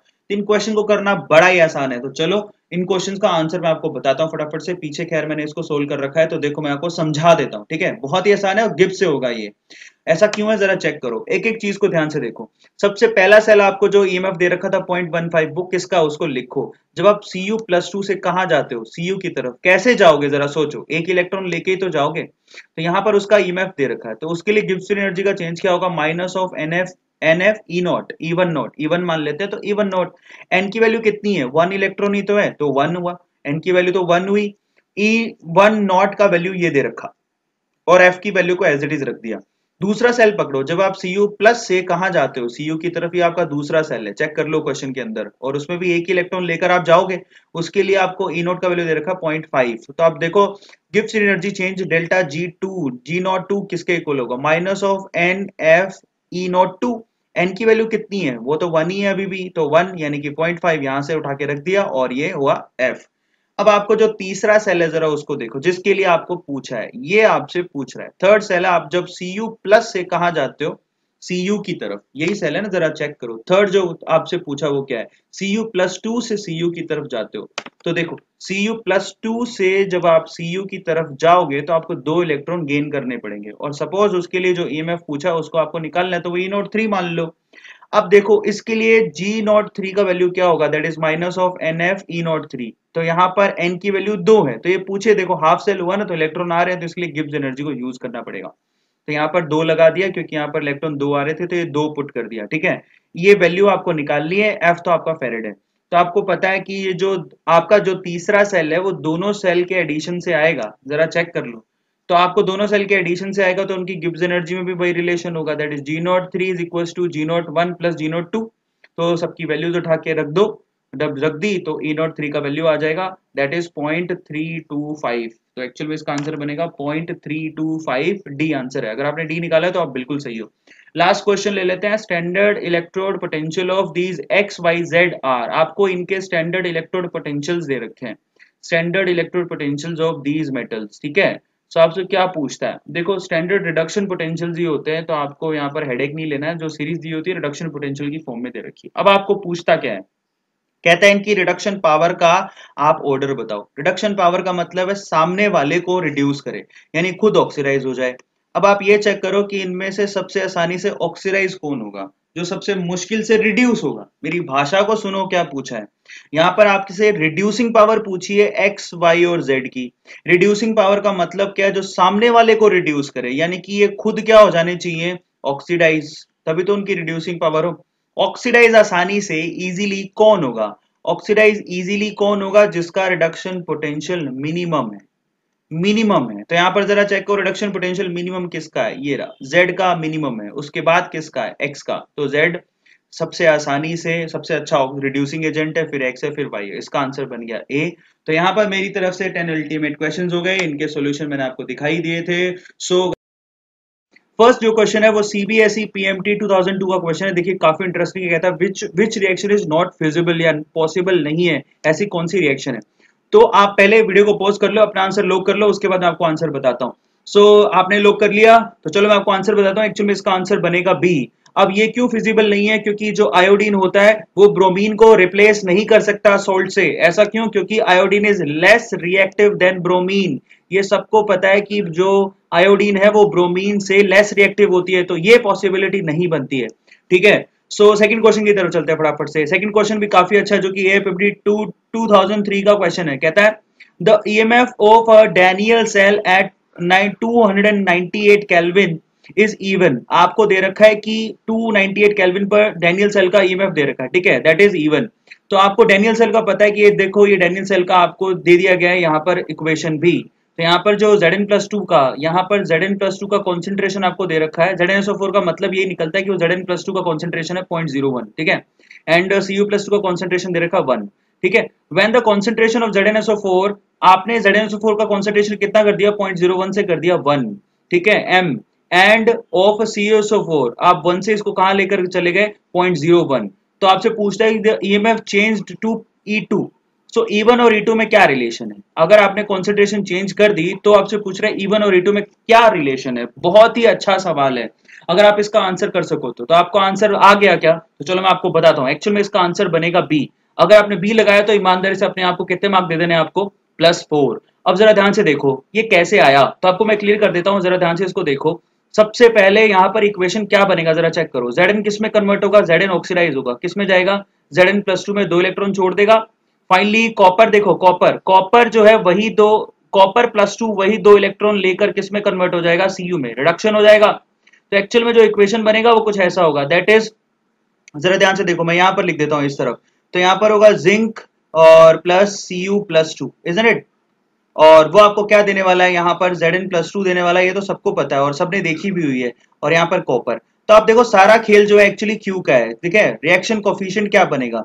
यहाँ पर रिएक्शन कोफिशियंट देखो ये तो सॉलिड होता है, ये भी सॉलिड होता है तो इनका तो जो एक्टिविटी होता है वो वन होता है। तो रिएक्शन कोफिशियंट बन रहा है, आपका ऊपर आ रहा है जिंक का कॉन्सेंट्रेशन और नीचे आपका किसका कॉन्सेंट्रेशन डिनोमिनेटर में आएगा? Copper C U plus two का कॉन्सेंट्रेशन सारा खेल क्यू का क्यों है? क्योंकि आप नर्स्ट इक्वेशन जब लगाते हो तो नर्स्ट इक्वेशन क्या लगाते हो? E cell is equal to E naught cell minus zero point zero five nine upon capital N N का वैल्यू यहाँ पर कितना है? दो. तो मैं क्लियर कर देता हूँ, क्यों? क्योंकि दो इलेक्ट्रॉन लिए जा रहे हैं, दो ही दिए जा रहे हैं. ठीक है? और साथ में क्या लगाते हो आप? लोग और साथ में यहाँ पर क्यू तो यहाँ पर देखो, यहाँ पर आप क्यू लगाते हो. ठीक है? तो आप जरा ध्यान से देखो, ये माइनस का साइन है। अब क्यू का मतलब तो ये हो गया कि क्यू की वैल्यू अगर मैं रख दू तो वो बनती है जेड एन प्लस टू का concentration and C U plus two का कॉन्सेंट्रेशन आप खुद ही सोचो कि अगर मैंने जेड एन प्लस टू का कॉन्सेंट्रेशन बढ़ाया तो E का वैल्यू तो घटेगा ना। यही आप कर रहे हो, आप जेड एन प्लस टू का कॉन्सेंट्रेशन कितना कर रहे हो? पॉइंट ज़ीरो वन से E की तरफ़ तो अगर आपने इसको बढ़ा दिया तो ई का वैल्यू घट जाएगा, यानी कि e ई टू का वैल्यू क्या होगा? E ई वन से तो छोटा ही आएगा तो ये भी आंसर बना है, उसका रीजन मैंने आपको बता दिया। नेक्स्ट क्वेश्चन की तरफ़ चलते हैं। क्वेश्चन नंबर थ्री जो कि सीपीएमटी 1991 और 1996 में रिपीट हुआ हुआ क्वेश्चन है। कहता है an electrolytic cell contains a solution of AGSO four AG two SO four and have a platinum electrode a current is pass until one point six grams of now look at it grams of oxygen has the amount of silver deposited, ये बहुत ही आसान सवाल है, यहाँ पर Faraday का second लो सीधे लगा सकते हो। कैसे?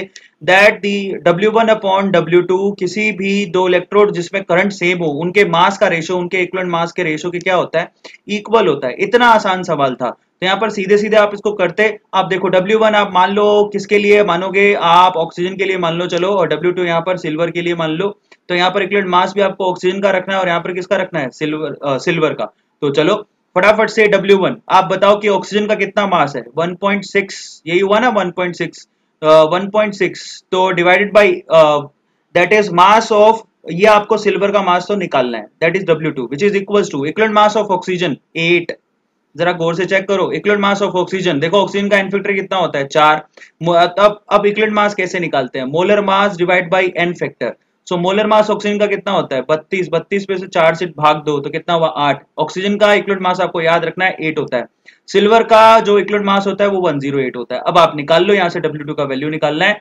डब्ल्यू टू का वैल्यू कैसे आएगा? दैट इज़ डब्ल्यू टू उधर ले जाओ। वन पॉइंट सिक्स इंटू किसको करना है? वन ज़ीरो एट ठीक है? डिवाइड किससे करना है? एट से। तो ये सीधे सीधे शॉर्ट आंसर आ जाएगा। चलो मैं इसके आंसर का आपको दर्शन भी करा देता हूँ फटाफट से। क्या आपने लोग कर लिया? तो चलो इसके आंसर का दर्शन कर लो फटाफट से। ये देखो, यही मैंने आपको कहा था। यही मैंने तरीका लगाया है। देखो W one upon W two is equal to E one upon E two बस ये इधर उधर हो गया और कुछ नहीं, ठीक है? तो फटाफट से यही फॉर्मुला है सेकंड लो इसी को बोलते हैं और यही मैंने अप्लाई किया और यहाँ से आंसर कितना आ गया? जरा चेक करो 21.6 ग्राम तो ये इसका आंसर हुआ 21.6 ग्राम ठीक है? उसका आंसर मैंने आपको बता दिया। नेक्स्ट क्वेश्चन देखिए, कहता है 2.5 point farads of electricity is passed through CPMT 1996 का क्वेश्चन है वीडियो पोस्ट करो, अपने आप आंसर दो। बहुत ही आसान सवाल है, ठीक है? Solution of C the number of gram equivalent पूछ रहा आपसे। अगर आपने इतनी इतनी इलेक्ट्रिसिटी प्रोड्यूस कराई है पास कराई है तो ग्राम इक्विवेलेंट पूछा आपसे। तो of copper deposited on the cathode देखो, बहुत ही आसान है। जितना आप फेरेट फ्लो कराते हो, उतने ही ग्राम इक्विवेलेंट इकट्ठे होते हैं। सिंपल सा तरीका है, इसका आंसर बनेगा सी तो दोनों आंसर के दर्शन आपको फटाफट से करा देता हूँ। ऊपर वाले की तो मैंने करवाई दिए थे। तो आप पोज करके इसके सोल्यूशन को चेक कर सकते हो। बहुत ही आसान है। नीचे वाले का मैंने आपको रीजन बता दिया, इसका आंसर क्या होगा, ठीक है? नेक्स्ट क्वेश्चन की तरफ़ चलते हैं। अगले दो सवाल, जो कि सीपीएमटी 1999 का क्वेश्चन है। बहुत सिंपल सवाल है। कहता है, अब देखो यहाँ पर यूनिट पूछा से इक्वलेंट कंडक्टिविटी का यूनिट पूछा है। ये आपको आना ही चाहिए। बहुत ही आसान है। दैट इज़ आपको कैप इक्यू e का यूनिट पूछा है और वो क्या होगा? फटाफट से बताओ। Ohm centimetre square mole inverse वो तो होता है Uh, किसका? कैप एम का। तो इक्विवेलेंट की जगह क्या लग जाएगा? इक्विवेलेंट इनवर्स तो ये इसका बी आंसर है। और ये काफ़ी ज़्यादा बार पूछे गए सवाल है। ऐसा क्यों? क्योंकि kappa into thousand divided by यहाँ पर आप नॉर्मेलिटी लेते हो। तो आप कप्पा की यूनिट रख दो फटाफट से, और नॉर्मेलिटी की यूनिट आपको पता ही है। दोनों रखोगे तो आपके पास ये आंसर आ जाएगा। तो सिंपल सा क्वेश्चन था। अगला सवाल ले लेते हैं फटाफट से। ये भी बहुत ही आसान सवाल है। सीपीएमटी 1999 का क्वेश्चन है। फटाफट से आपको सोल्व करना है तो बताइए। कहता है स्टैंडर्ड रिडक्शन पोटेंशियल जो four elements are given below which of the following will have the most most suitable reducing agent इसमें से सबसे अच्छा रिड्यूसिंग एजेंट कौन है?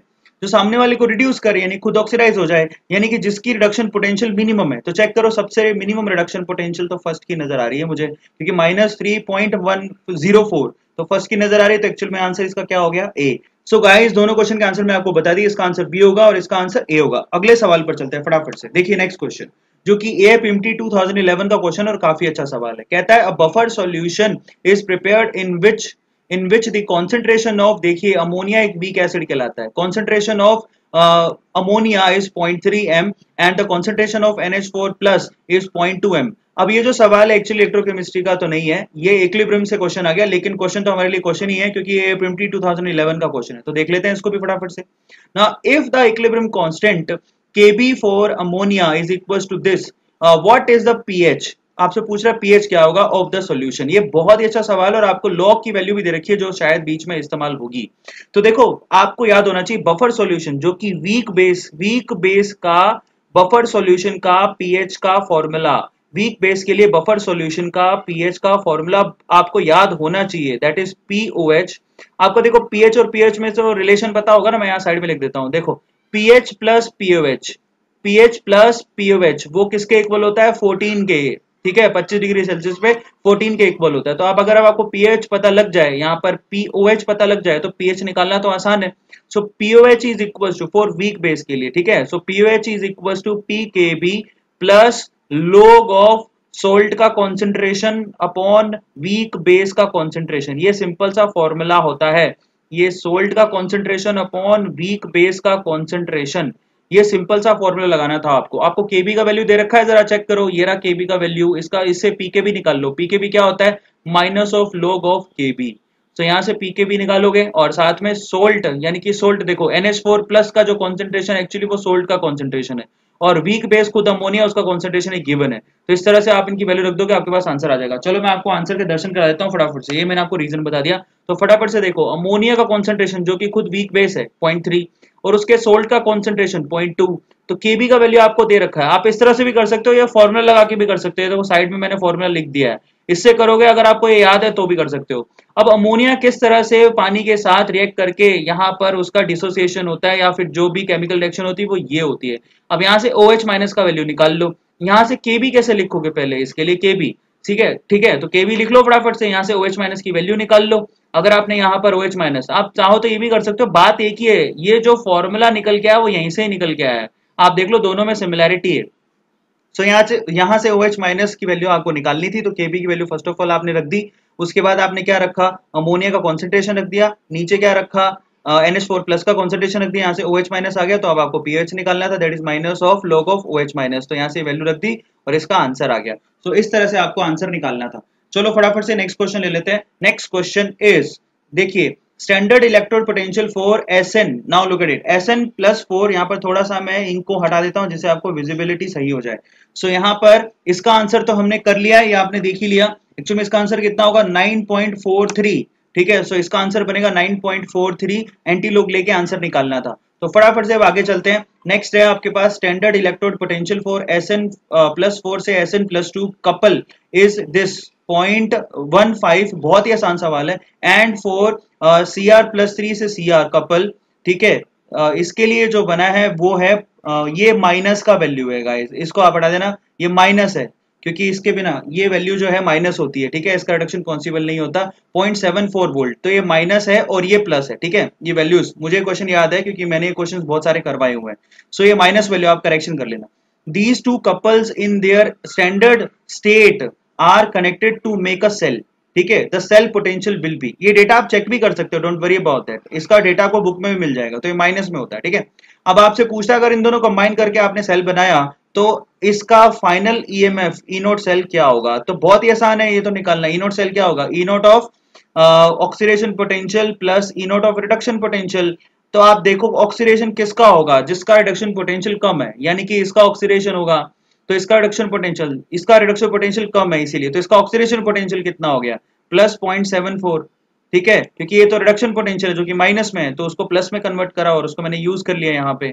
और प्लस साथ में क्या करना है? रिडक्शन पोटेंशियल जिसका रिडक्शन होगा तो वो कितना हुआ? पॉइंट वन फाइव दोनों को जोड़ दो तो आंसर क्या आएगा? डी सो इसके आंसर के भी मैं आपको दर्शन करा देता हूँ फटाफट से। देखो एस एन प्लस फोर से एस एन प्लस टू ये वैल्यू आपको दे रखी है, ये देखो करेक्शन आप आंसर में कर रखा है, ठीक है? क्वेश्चन में आपको करेक्शन कर लेना था। और साथ में ई नोट सेल कैसे निकालते हैं? ये आपको फॉर्मूला दे रखा है। ये रिडक्शन के पॉइंट ऑफ़ व्यू से दे रखा है। Reduction of cathode minus reduction of anode तो आप कैसे भी यूज़ कर सकते हो, एक ही बात है। उसको आप माइनस यहाँ पर रिडक्शन की जगह ऑक्सीडेशन लिखो तो यहाँ प्लस आ जाएगा। तो मैंने जो यूज़ किया, वो भी सही है और ये भी सही है। आप दोनों तरह से यूज़ कर सकते हो।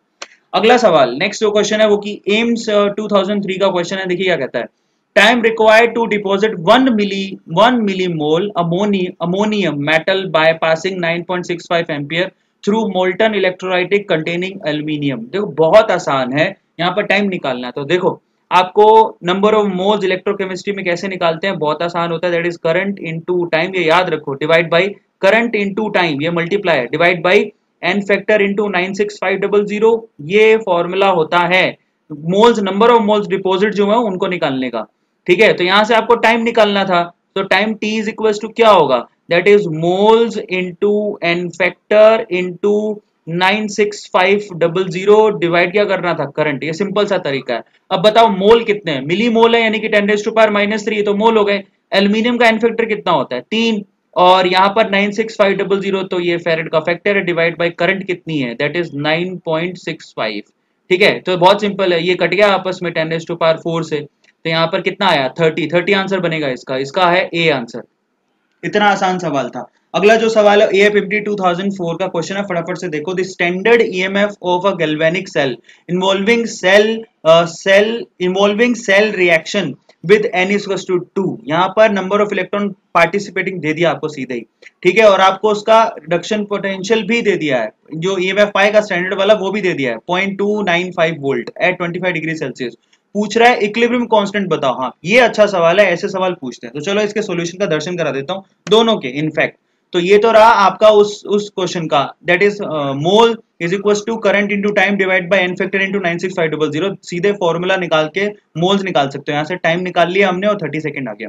अगला सवाल है, क्योंकि इक्लिब्रियम आ चुका है तो ई सेल का वैल्यू इक्लिब्रियम पर कितना हो जाता है? ज़ीरो तो अगर ई सेल का वैल्यू ज़ीरो हो जाता है तो बचा क्या? नर्स्ट इक्वेशन के हिसाब से ई नोट सेल बचा। That is point zero five nine one upon N साथ में क्या बचा? लोग ऑफ़ के सी यही बचा। अब आपको देखो जरा ध्यान से। ई नोट सेल की वैल्यू दे रखी है, जिसको आपको यहाँ पर रख देना था। एन की वैल्यू दो है, वो पहले से कह रहा है। केसी की वैल्यू आपको निकालनी है। तो यहाँ से लोग केसी लिया, उसके बाद केसी लिया एंटी लोग लेके इसका आंसर आ गया ten S to power ten so ये इसका आंसर बना तो एक्चुअल में ten S to power ten आपके पास ए आंसर आ जाएगा इसका, ठीक है? अगर आपने ए निकाला है तो प्लस फोर चलो, फटाफट से नेक्स्ट टू क्वेश्चन ले लेते हैं। और ये लास्ट क्वेश्चन है इस वीडियो के एम्स 2004 का क्वेश्चन है, कहता है which of the following statement is true for the electrochemical Daniel cell Daniel cell के लिए क्या चीज़ ट्रू है? तो आपको डेनियल सेल पढ़ा तो फटाफट से आंसर आ जाएगा। तो आपको पता है कि यहाँ पर देखो, फटाफट से पढ़ो, क्या क्या electron electrons flow from copper electrode to zinc electrode एक गलत है। आपको पता होना चाहिए, यहाँ पर जिंक इलेक्ट्रोड होता है और इस तरफ़ कॉपर इलेक्ट्रोड होता है और इलेक्ट्रॉन जिंक से कॉपर की तरफ़ फ्लो होते हैं। Current flow from zinc electrode to copper electrode ये भी गलत है, ठीक है? क्योंकि कॉपर से, क्योंकि इलेक्ट्रॉन जो है जिंक से कॉपर की तरफ़ फ्लो हो रहे हैं तो करंट तो कॉपर से जिंक की तरफ़ फ्लो होगा तो ये भी गलत हो गया। Cation move towards copper electrode अब ये सही है, क्यों?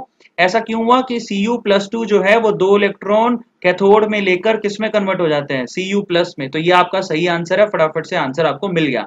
अगर आपने सी लगाया तो आपका सही है। नेक्स्ट क्वेश्चन ले लेते हैं क्वेश्चन नंबर ट्वेल्व कहता है फोर पॉइंट फाइव ग्राम्स है ठीक है? ग्राम्स ऑफ़ एल्यूमिनियम उसका मास भी दे दिया आपको twenty seven ever deposited on cathode from Al plus 3 solution by a certain quantity of electric charge.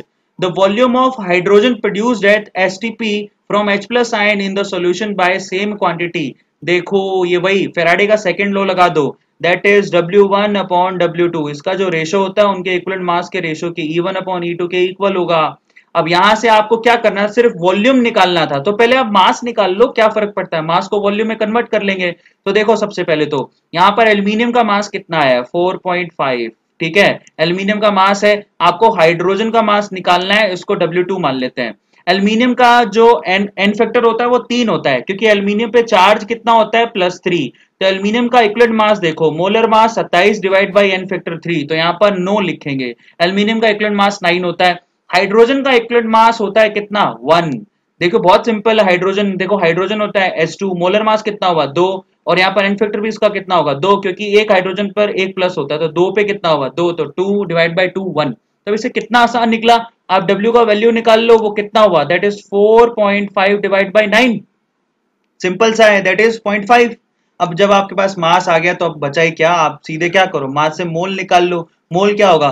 Given mass by molar mass mass given कितना है? पॉइंट फाइव मोलर मास कितना है? दो. तो ये मोल्स कितने आ गए? वन बाई फोर अब यहाँ वन बाई फोर अगर आ गए हैं तो आपको वॉल्यूम निकालना एसटीपी पर आना चाहिए। वॉल्यूम क्या होता है? मोल्स इंटू 22.4 यानी कि 22.4 को आपको चार से डिवाइड कर देना था तो आंसर बनेगा 5.6 डी तो ये देखो, इसके आंसर के दर्शन भी करा देता हूँ। यहाँ पर देखो, आप और में जो मैंने करवाया, आप इसको भी कर सकते हो।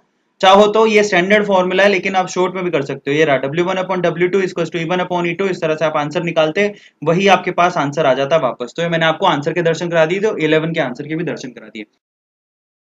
Now this your first question जो कि सीबीएसई पीएमटी 2002 का क्वेश्चन है बहुत अच्छा सवाल है सिंपल क्वेश्चन है। देखिए क्या कहता है।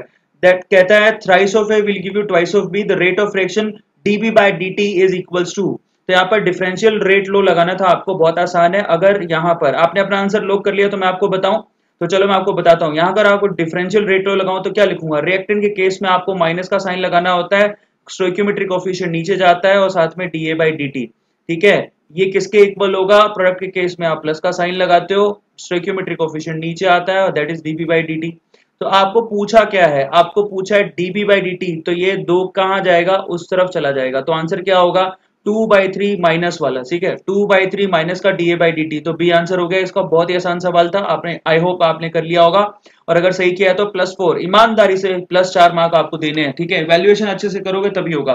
सेकंड क्वेश्चन की तरफ़ चलते हैं फटाफट से। सेकंड क्वेश्चन एम्स 2002 का क्वेश्चन और नॉलेजेबल क्वेश्चन है। कहता है आपसे द रिएक्शन हाइड्रोजन और क्लोरीन विद सनलाइट एचसीएल बनाते हैं taking place on water the order of reaction. देखो, आप जब भी सनलाइट में कोई रिएक्शन कराते हो तो वो रिएक्टेंट की कॉन्सेंट्रेशन पे बिल्कुल डिपेंड नहीं करती है। इसका आंसर आएगा ज़ीरो और अगर आपने ज़ीरो लगाया तो आपके प्लस फोर मार्क फिर से हो गए। तो टोटल इस स्लाइड से आपके प्लस एट मार्क हो गए, अगर आपने दोनों क्वेश्चन सही किए हैं तो।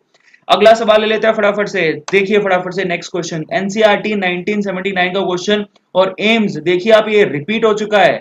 बहुत इंपॉर्टेंट है रिपीट हो चुका है। बहुत सारे बच्चे ऐसा बोलते हैं, सर, कि ये तो बहुत पुराने क्वेश्चन है।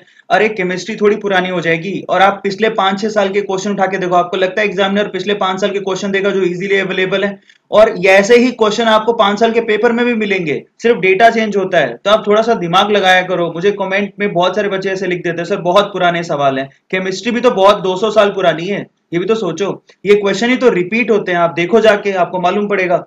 सो so, आप बिलीव करो वी आर टीचर्स हमें छह से सात साल का एक्सपीरियंस हमें पता है कहाँ से क्या लेना है। तो आप बड़े ध्यान से प्रैक्टिस करते जाओ।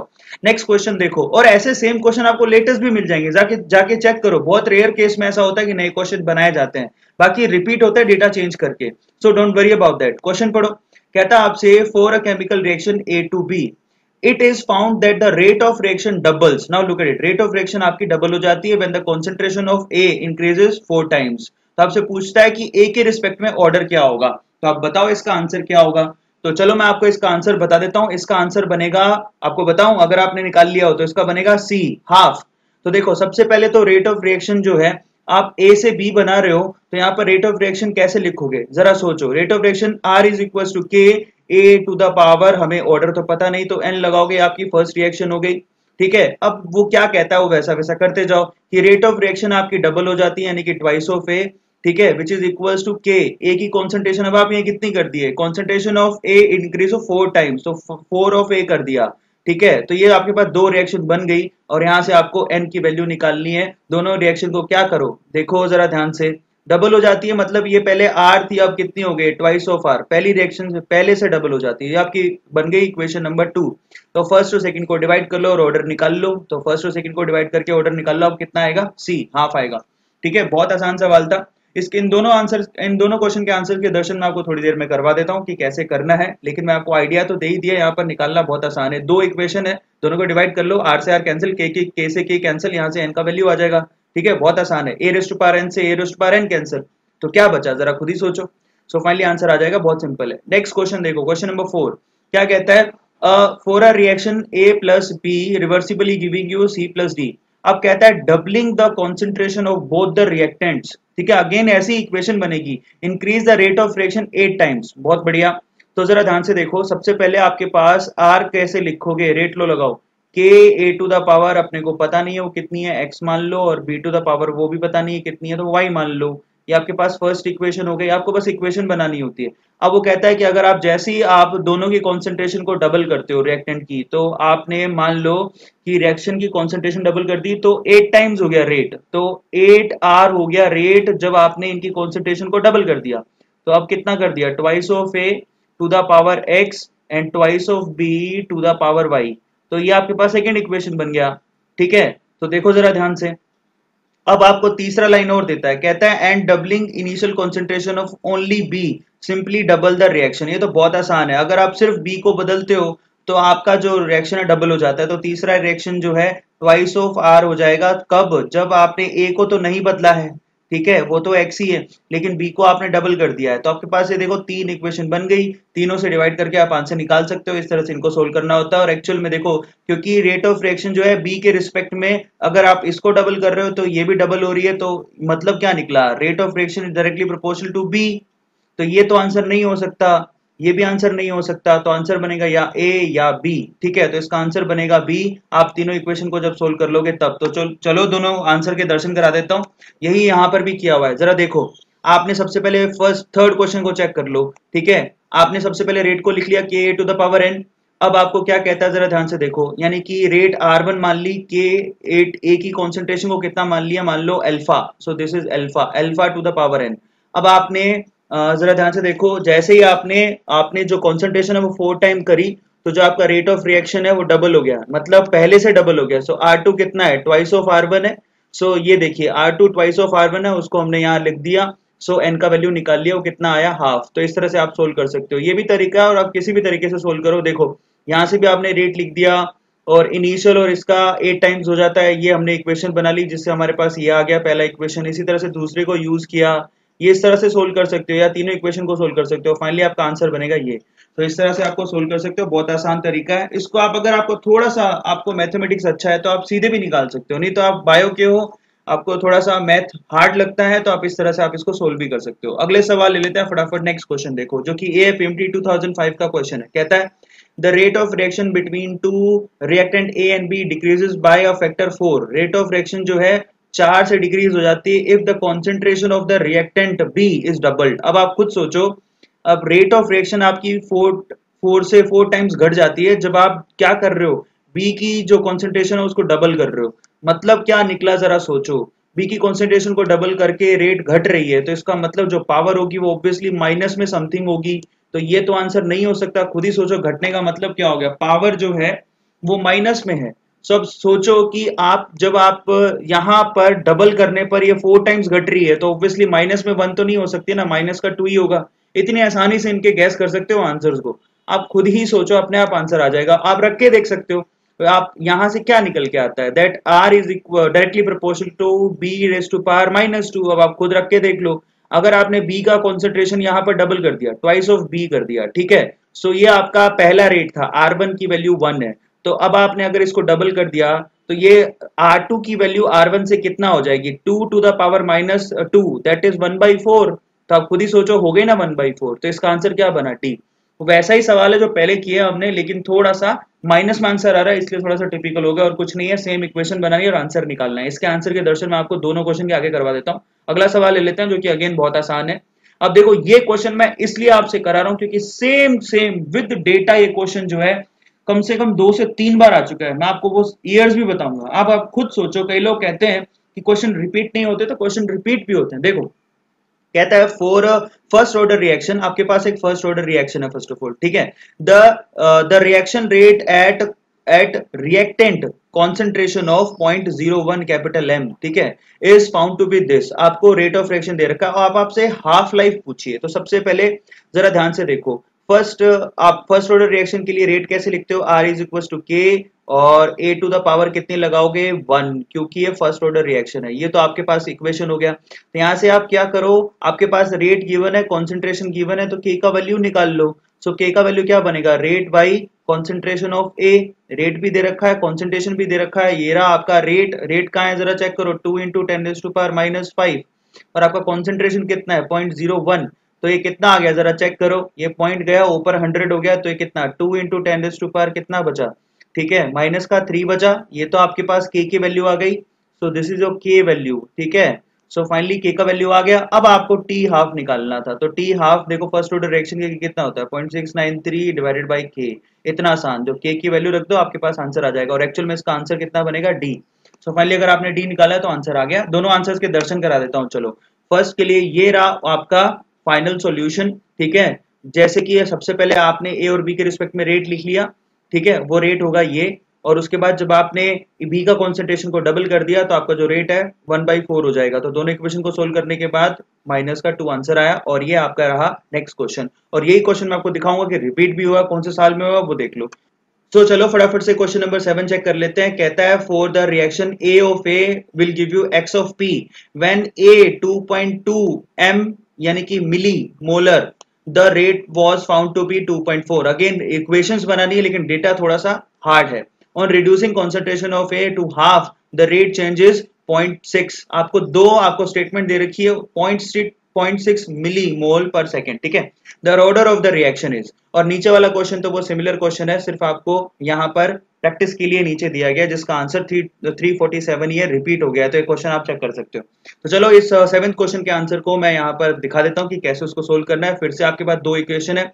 जरा देखो आपके पास ए का कॉन्सेंट्रेशन जब 2.2 है तो आपकी रेट ऑफ़ रिएक्शन है 2.4 तो इससे एक इक्वेशन बनेगा तो जरा चेक करो। सबसे पहले आर आप आप सबसे पहले रेट लो कैसे रेट लो कैसे लगाओगे? That R is equal to K A to the power N आपकी रेट हो जाती है 2.4 जब आपकी ए की कॉन्सेंट्रेशन है 2.2 क्लियर होता है सबको? अब सेकंड केस वाला चेक करो। सेकंड क्या कहता है आपसे? देखो, जब आप ए की कॉन्सेंट्रेशन को हाफ़ कर देते हो तो आपके पास रेट कितनी हो जाती है? पॉइंट सिक्स तो देखो, जब आपने ए की कॉन्सेंट्रेशन को हाफ़ कर दी टू पॉइंट टू का हाफ़ कितना होता है? वन पॉइंट वन ये वैल्यू उठा के रख दी। तो आपके पास रेट ऑफ़ रिएक्शन कितनी हो जाती है? पॉइंट सिक्स तो आपके पास यहाँ दो इक्वेशन आ गई, दोनों को आप डिवाइड करो, आपके पास आंसर आ जाएगा टू तो फाइनली इस क्वेश्चन का आंसर कितना बनेगा? टू बी आंसर हो गया। तीसरा क्वेश्चन तो भाई सिमिलर क्वेश्चन है, इसको सोल्व किया हुआ है, पहले भी मैंने करवा दिया है। ये आपकी प्रैक्टिस के लिए आप देख लो अलग अलग ईयर्स में आया हुआ है। नेक्स्ट क्वेश्चन देखो। Question number nine question number nine जो है वो सीबीएसई पीएमटी 2003 का क्वेश्चन है। कहता है if the rate of the reaction is equals to rate constant अगर आपकी rate of reaction rate constant के इक्वल हो तो बताओ कि उसका ऑर्डर क्या होगा। बहुत आसान है। इसका मतलब रिएक्टेंट की concentration to the power zero पे डिपेंड कर रही है तो ज़ीरो ऑर्डर हो गया, क्योंकि रेट कॉन्स्टेंट के इक्वल आ गया। सिंपल सा question B answer next question check करो क्वेश्चन नंबर टेन अब ये क्वेश्चन नंबर टेन भी सिमिलर क्वेश्चन है, इसलिए मैं इसको करवा नहीं रहा हूँ। आपसे फिर से हाफ़ लाइफ पूछा है। आपको सबसे पहले के का वैल्यू निकालना है, वो क्या होगा? रेट डिवाइड बाई ए ऐसे करके निकालोगे, उसके बाद टी हाफ़ पूछिए आपसे। सेम क्वेश्चन आपकी प्रैक्टिस के लिए लिखा है। देखो सीबीएसई पीएमटी 2004 का क्वेश्चन है। सिर्फ़ डेटा चेंज करके आपको क्वेश्चन मिल गया। और ये वही सवाल है। पॉइंट सिक्स नाइन थ्री को आप क्या करोगे? के से डिवाइड कर दोगे, आपका आंसर भी आ जाएगा यहाँ से। ठीक है? तो ये क्वेश्चन भी मैं करवा चुका हूँ तो करवा नहीं रहा हूँ। आपकी प्रैक्टिस के लिए आप करो। यानी question number eight question number ten आपकी प्रैक्टिस के लिए है। सेम क्वेश्चन है, जैसे कि मैंने पहले करवाया था। अगला सवाल देखते हैं फटाफट। क्वेश्चन नंबर 11 और 12 जो है, वो बहुत अच्छे सवाल हैं इस वीडियो के। क्वेश्चन नंबर 11 देखो एमपीपीएमटी 2009 का क्वेश्चन है और क्वेश्चन नंबर 12 डीपीएमटी 2010 का क्वेश्चन है और दोनों एक्टिवेशन एनर्जी पर हैं। तो जरा चेक करो, कहता है the rate of rate of gaseous reactant triple when the temperature is increase by 10 degree. From 20 uh, 25 degree celsius the energy of activation of the reaction in kilojoule per mole will be. अच्छा सवाल है पहले आप कर लो उसके बाद मैं आपको सॉल्यूशन बताता हूँ। तो आपने कर लिया। सेकंड क्वेश्चन भी साथ ही अटेम्प्ट करो। दोनों क्वेश्चन के आंसर मैं एक साथ बताऊँगा तो फटाफट देखो। तो सेकंड क्वेश्चन भी देख लो। यहाँ पर आपको देखो क्या दिया हुआ ये डेटा आपको जरा चेक करो। आपके पास जैसे आपने 10 डिग्री सेल्सियस से आपने टेम्परेचर इंक्रीज किया तो आपका जो फाइनली रेट है वो ट्रिपल हो गया। तीन गुना हो गया। तो आपसे पूछा एक्टिवेशन एनर्जी बताओ। ठीक है? ये क्वेश्चन है। दूसरा सवाल पढ़ो। कहता है for the first order reaction आपके पास दे रखी है रेट कांस्टेंट ये सिंपल क्वेश्चन है, ऊपर वाले से सिंपल है। That the rate constant of 1.3 into 10 raised to power minus 11 per second at 270 degree Celsius. And the rate constant is this and 350 degree Celsius. तो कहता है एक्टिवेशन एनर्जी बताओ। इसमें तो सीधा फॉर्मूला यूज़ होना है। दोनों क्वेश्चन कर लो, उसके बाद मैं आपको दोनों के आंसर बताता हूँ। क्या आपने कर लिए? तो चलो इनके आंसर्स को चेक कर लेते हैं, कैसे सोल्व होंगे। सबसे पहले इलेवंथ क्वेश्चन अब इलेवेंथ क्वेश्चन के लिए देखो। आप देखो, हम लोग पहले से जानते हैं कि एक्टिवेशन एनर्जी में क्या रिलेशन होता है। Log K one K one upon K two is equals to यहाँ पर हम लोग क्या लिखते हैं? ये देखिए, फटाफट से आपको फॉर्मूला बता देता हूँ, नीचे लिखा हुआ लोग K one upon K to ठीक है? सो यहाँ पर के टू बाई के वन आप इसको के टू बाई के वन अगर यहाँ पर T one minus T two लिखते हो, यहाँ पर क्या होगा? K two by K one is it ये वाला फॉर्मूला सेम ही है जो यहाँ पर इस्तेमाल कर लिया गया ठीक है? Log K two by K one is equal to activation energy divide by two point three zero three R one by T one minus one by T two ये सिंपल सा फॉर्मूला आपको देखने को मिलेगा कहाँ पर? केमिकल कैनेटिक्स में activation energy वाले के अंदर। बहुत सिंपल सा फॉर्मूला जिसको ड्राइव भी किया हुआ है, आप चाहे तो प्रीवियस वीडियोस मेरे देख सकते हैं। ठीक है, या फिर अन अकेडमी में मैंने इसके लेक्चर डाल रखे हैं, उसमें भी मैंने इसको ड्राइव किया हुआ है कि कैसे आया। बहुत सिंपल है अरेनियस इक्वेशन से ही आया है। तो यहाँ पर जरा चेक करो। अब वो क्या कहता है कि आपके जो रेट ऑफ़ रिएक्शन थी के और वापस वो कितनी हो गई? थ्राइस टाइम तीन गुना हो गई। तो अब तो एक्टिवेशन एनर्जी निकालनी है सेम फॉर्मूला 2.303 आर का वैल्यू चेंज होगा नहीं। और यहाँ पर क्या दे रखा जरा चेक करो। आपने 10 डिग्री सेल्सियस से चेंज किया तो पहला टेम्परेचर कितना था? जरा चेक करो फटाफट से। बस वही टी वन और टी टू की वैल्यू आ गई। यहाँ पर टी वन और टी टू की वैल्यू उठा के रख दी। टेन डिग्री सेल्सियस से चेंज करा तो आपके पास आंसर आ जाएगा। जरा चेक करो। तो फटाफट से ये आंसर जो है आपके, और यहाँ से आंसर निकल के आएगा फाइव वन थ्री ठीक है? सो नेक्स्ट क्वेश्चन भी सिमिलर है आपके पास। डिफरेंट डिफरेंट टेम्परेचर गिवन है, और उसके रेट कॉन्स्टेंट्स गिवन है। आपको सिर्फ़ एक्टिवेशन एनर्जी कैलकुलेट करनी थी। इसके सोल्यूशन मैंने यहाँ पर आपको करवा दिए। फ़र्स्ट क्वेश्चन इज़ पहले आपको पढ़ना है, सवाल पढ़ लीजिए आराम से और फिर उसके बाद आपको आंसर अपना लोग करना, फिर मेरा आंसर चेक कर लेना तो फटाफट से बताइए आपका फ़र्स्ट क्वेश्चन का आंसर क्या है। इतने मैं इंक चेंज कर लेता हूँ। फ़र्स्ट क्वेश्चन इज़ कहता है which one of the following characteristics is not correct for the physical adsorption physical adsorption के लिए पूछा आपसे कि कौन सा यहाँ पर करेक्टरिस्टिक्स सही नहीं है नॉट करेक्ट पूछा है। तो बताइए आपका आंसर क्या है। चलिए तो मैं आपको आंसर बताता हूँ। इसका आंसर बनेगा बी अगर आपने बी लगाया तो आप बिल्कुल सही आपके प्लस फोर मार्क हो गए। अब ये कैसे the adsorption increase increase in temperature नहीं इट मे डिक्रीज देखिए टेम्परेचर बढ़ाने से एड्जॉर्प्शन बढ़ता नहीं है। कई सिचुएशंस में घटता भी है। इवन ज़्यादातर सिचुएशन में घटता है। तो ये आप लोगों को ध्यान रखना है। सेकंड क्वेश्चन चेक करते हैं। फ़र्स्ट क्वेश्चन का आंसर बन गया। बी अगर आप बी लगाए तो बिल्कुल सही हो। सेकंड क्वेश्चन चेक करो। Which of the following statement is false ज़्यादातर ऐसे ही क्वेश्चन पूछे जाते हैं। यहाँ से स्टेटमेंट जो कि गलत है आपसे पूछा है। तो फटाफट से बताओ यहाँ पर कौन सा स्टेटमेंट गलत है। सारे चारों ऑप्शन पढ़ लो, उसके बाद अपना जवाब दो। सो चलो, मैं आपको आंसर बताऊँ। मेरे आंसर से आप मैच कर लो। अगर आप सही हो तो बिल्कुल। अगर मेरे से मैच कर रहे हो तो बिल्कुल सही हो। तो प्लस फोर मार्क हो गए। ठीक है?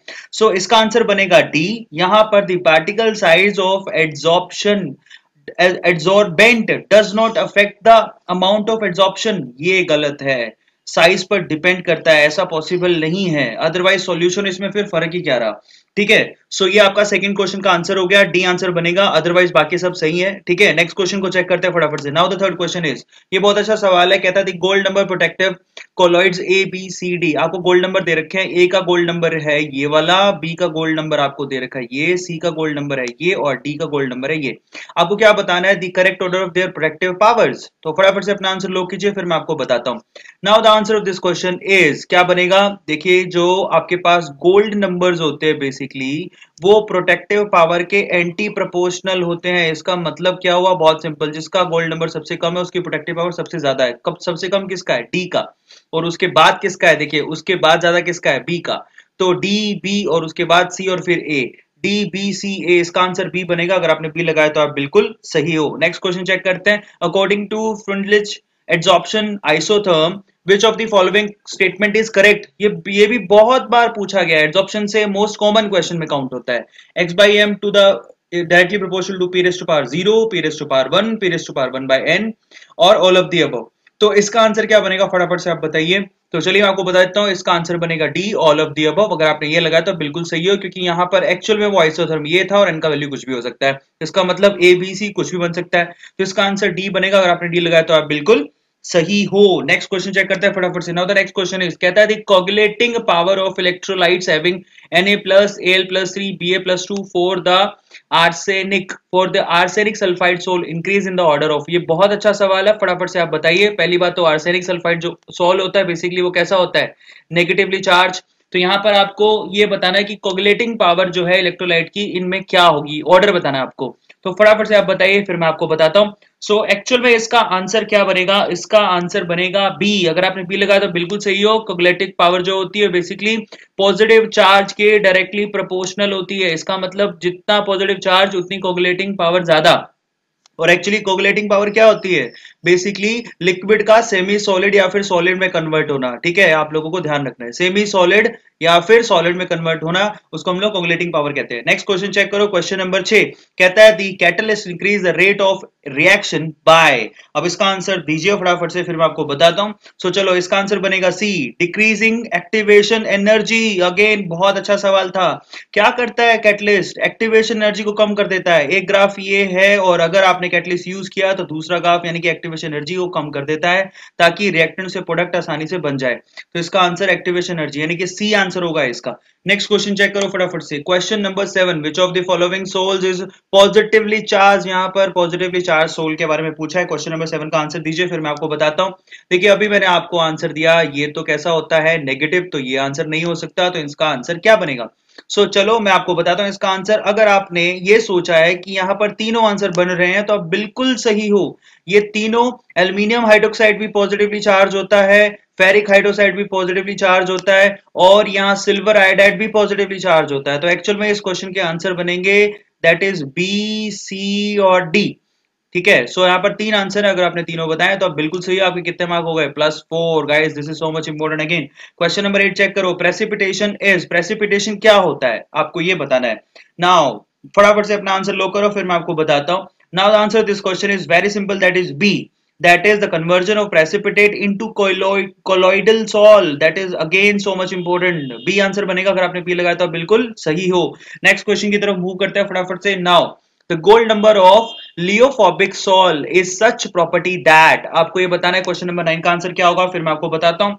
सो so, चलो मैं आपको बताता हूँ मैच कर लेना। That is answer of this question is C C अगर आपने सी लगा तो बिल्कुल सही हो। It's lower it's value greater greater is the protective power ये तो मैंने पहले ही एक क्वेश्चन कराया जिससे आपको आइडिया लग जाना चाहिए था। लास्ट क्वेश्चन ले लेते हैं इस वीडियो का और ये बहुत अच्छा सवाल है। Now the last question is which of the following are incorrect statement आपसे पूछता है कि इनकरेक्ट स्टेटमेंट क्या है? ध्यान से पढ़ो। तो फटाफट से आप सबको रीड कर लो, उसके बाद मैं आपको आंसर बताता हूँ। सो चलिए आपको बताता हूँ इसका आंसर इसका आंसर बनेगा C as well as D तो देखिए, ये डी तो आपको पहले से पता होगा। Higher the gold number more will be the productive power ये तो गलत है, क्योंकि लेस होता है। तो ये तो गलत हो गया, इसका मतलब रॉन्ग ही पूछा तो डी तो आंसर होगा ही आप सी को सोचिए that is the in gel the liquid is disperse in liquid no not at all solid इसमें इन्वॉल्व होता है, तभी तो जेल बनता है गाइज़ सो फटाफट से ये हमारे हो गए दस क्वेश्चन सरफेस केमिस्ट्री से और ऐसे क्वेश्चन पूछे जाते हैं गाइज़ आई होप आप लोगों को बहुत अच्छे लगे होंगे क्वेश्चन और अगर आपको अच्छे लगे हो तो आपको चार छोटे छोटे से काम करने हैं. फ़र्स्ट ऑफ़ ऑल तो सब्सक्राइब कर लेना. आई होप आई होप आप लोगों ने सब्सक्राइब तो कर ही लिया होगा. वीडियोज़ को शेयर कीजिए. That is so much important आप याद रखिए वीडियो जितनी दूर तक जाएँगी और मेरी आवाज़ जितनी दूर तक जाएगी, आपके लिए हमारी टीम उतने ही अच्छे वीडियोज़ बनाते रहेगी. और साथ ही साथ वीडियो को लाइक कीजिए और कमेंट सेक्शन में अपने मार्क्स को ज़रूर लिखिए guys do these four work अगर आपको एक भी क्वेश्चन समझ में आया और अच्छा लगा है तो प्लीज़ आप छोटे छोटे चार काम कर सकते हैं हमारे लिए। ठीक है, इससे हमारा हमारा जो मुराल होता है, बहुत ज़्यादा बूस्ट होता है। So thank you so much guys अगले वीडियो में मिलते हैं फिर एक नए चैप्टर के साथ। Thank you so much thanks a lot subscribe करना ना भूलिएगा।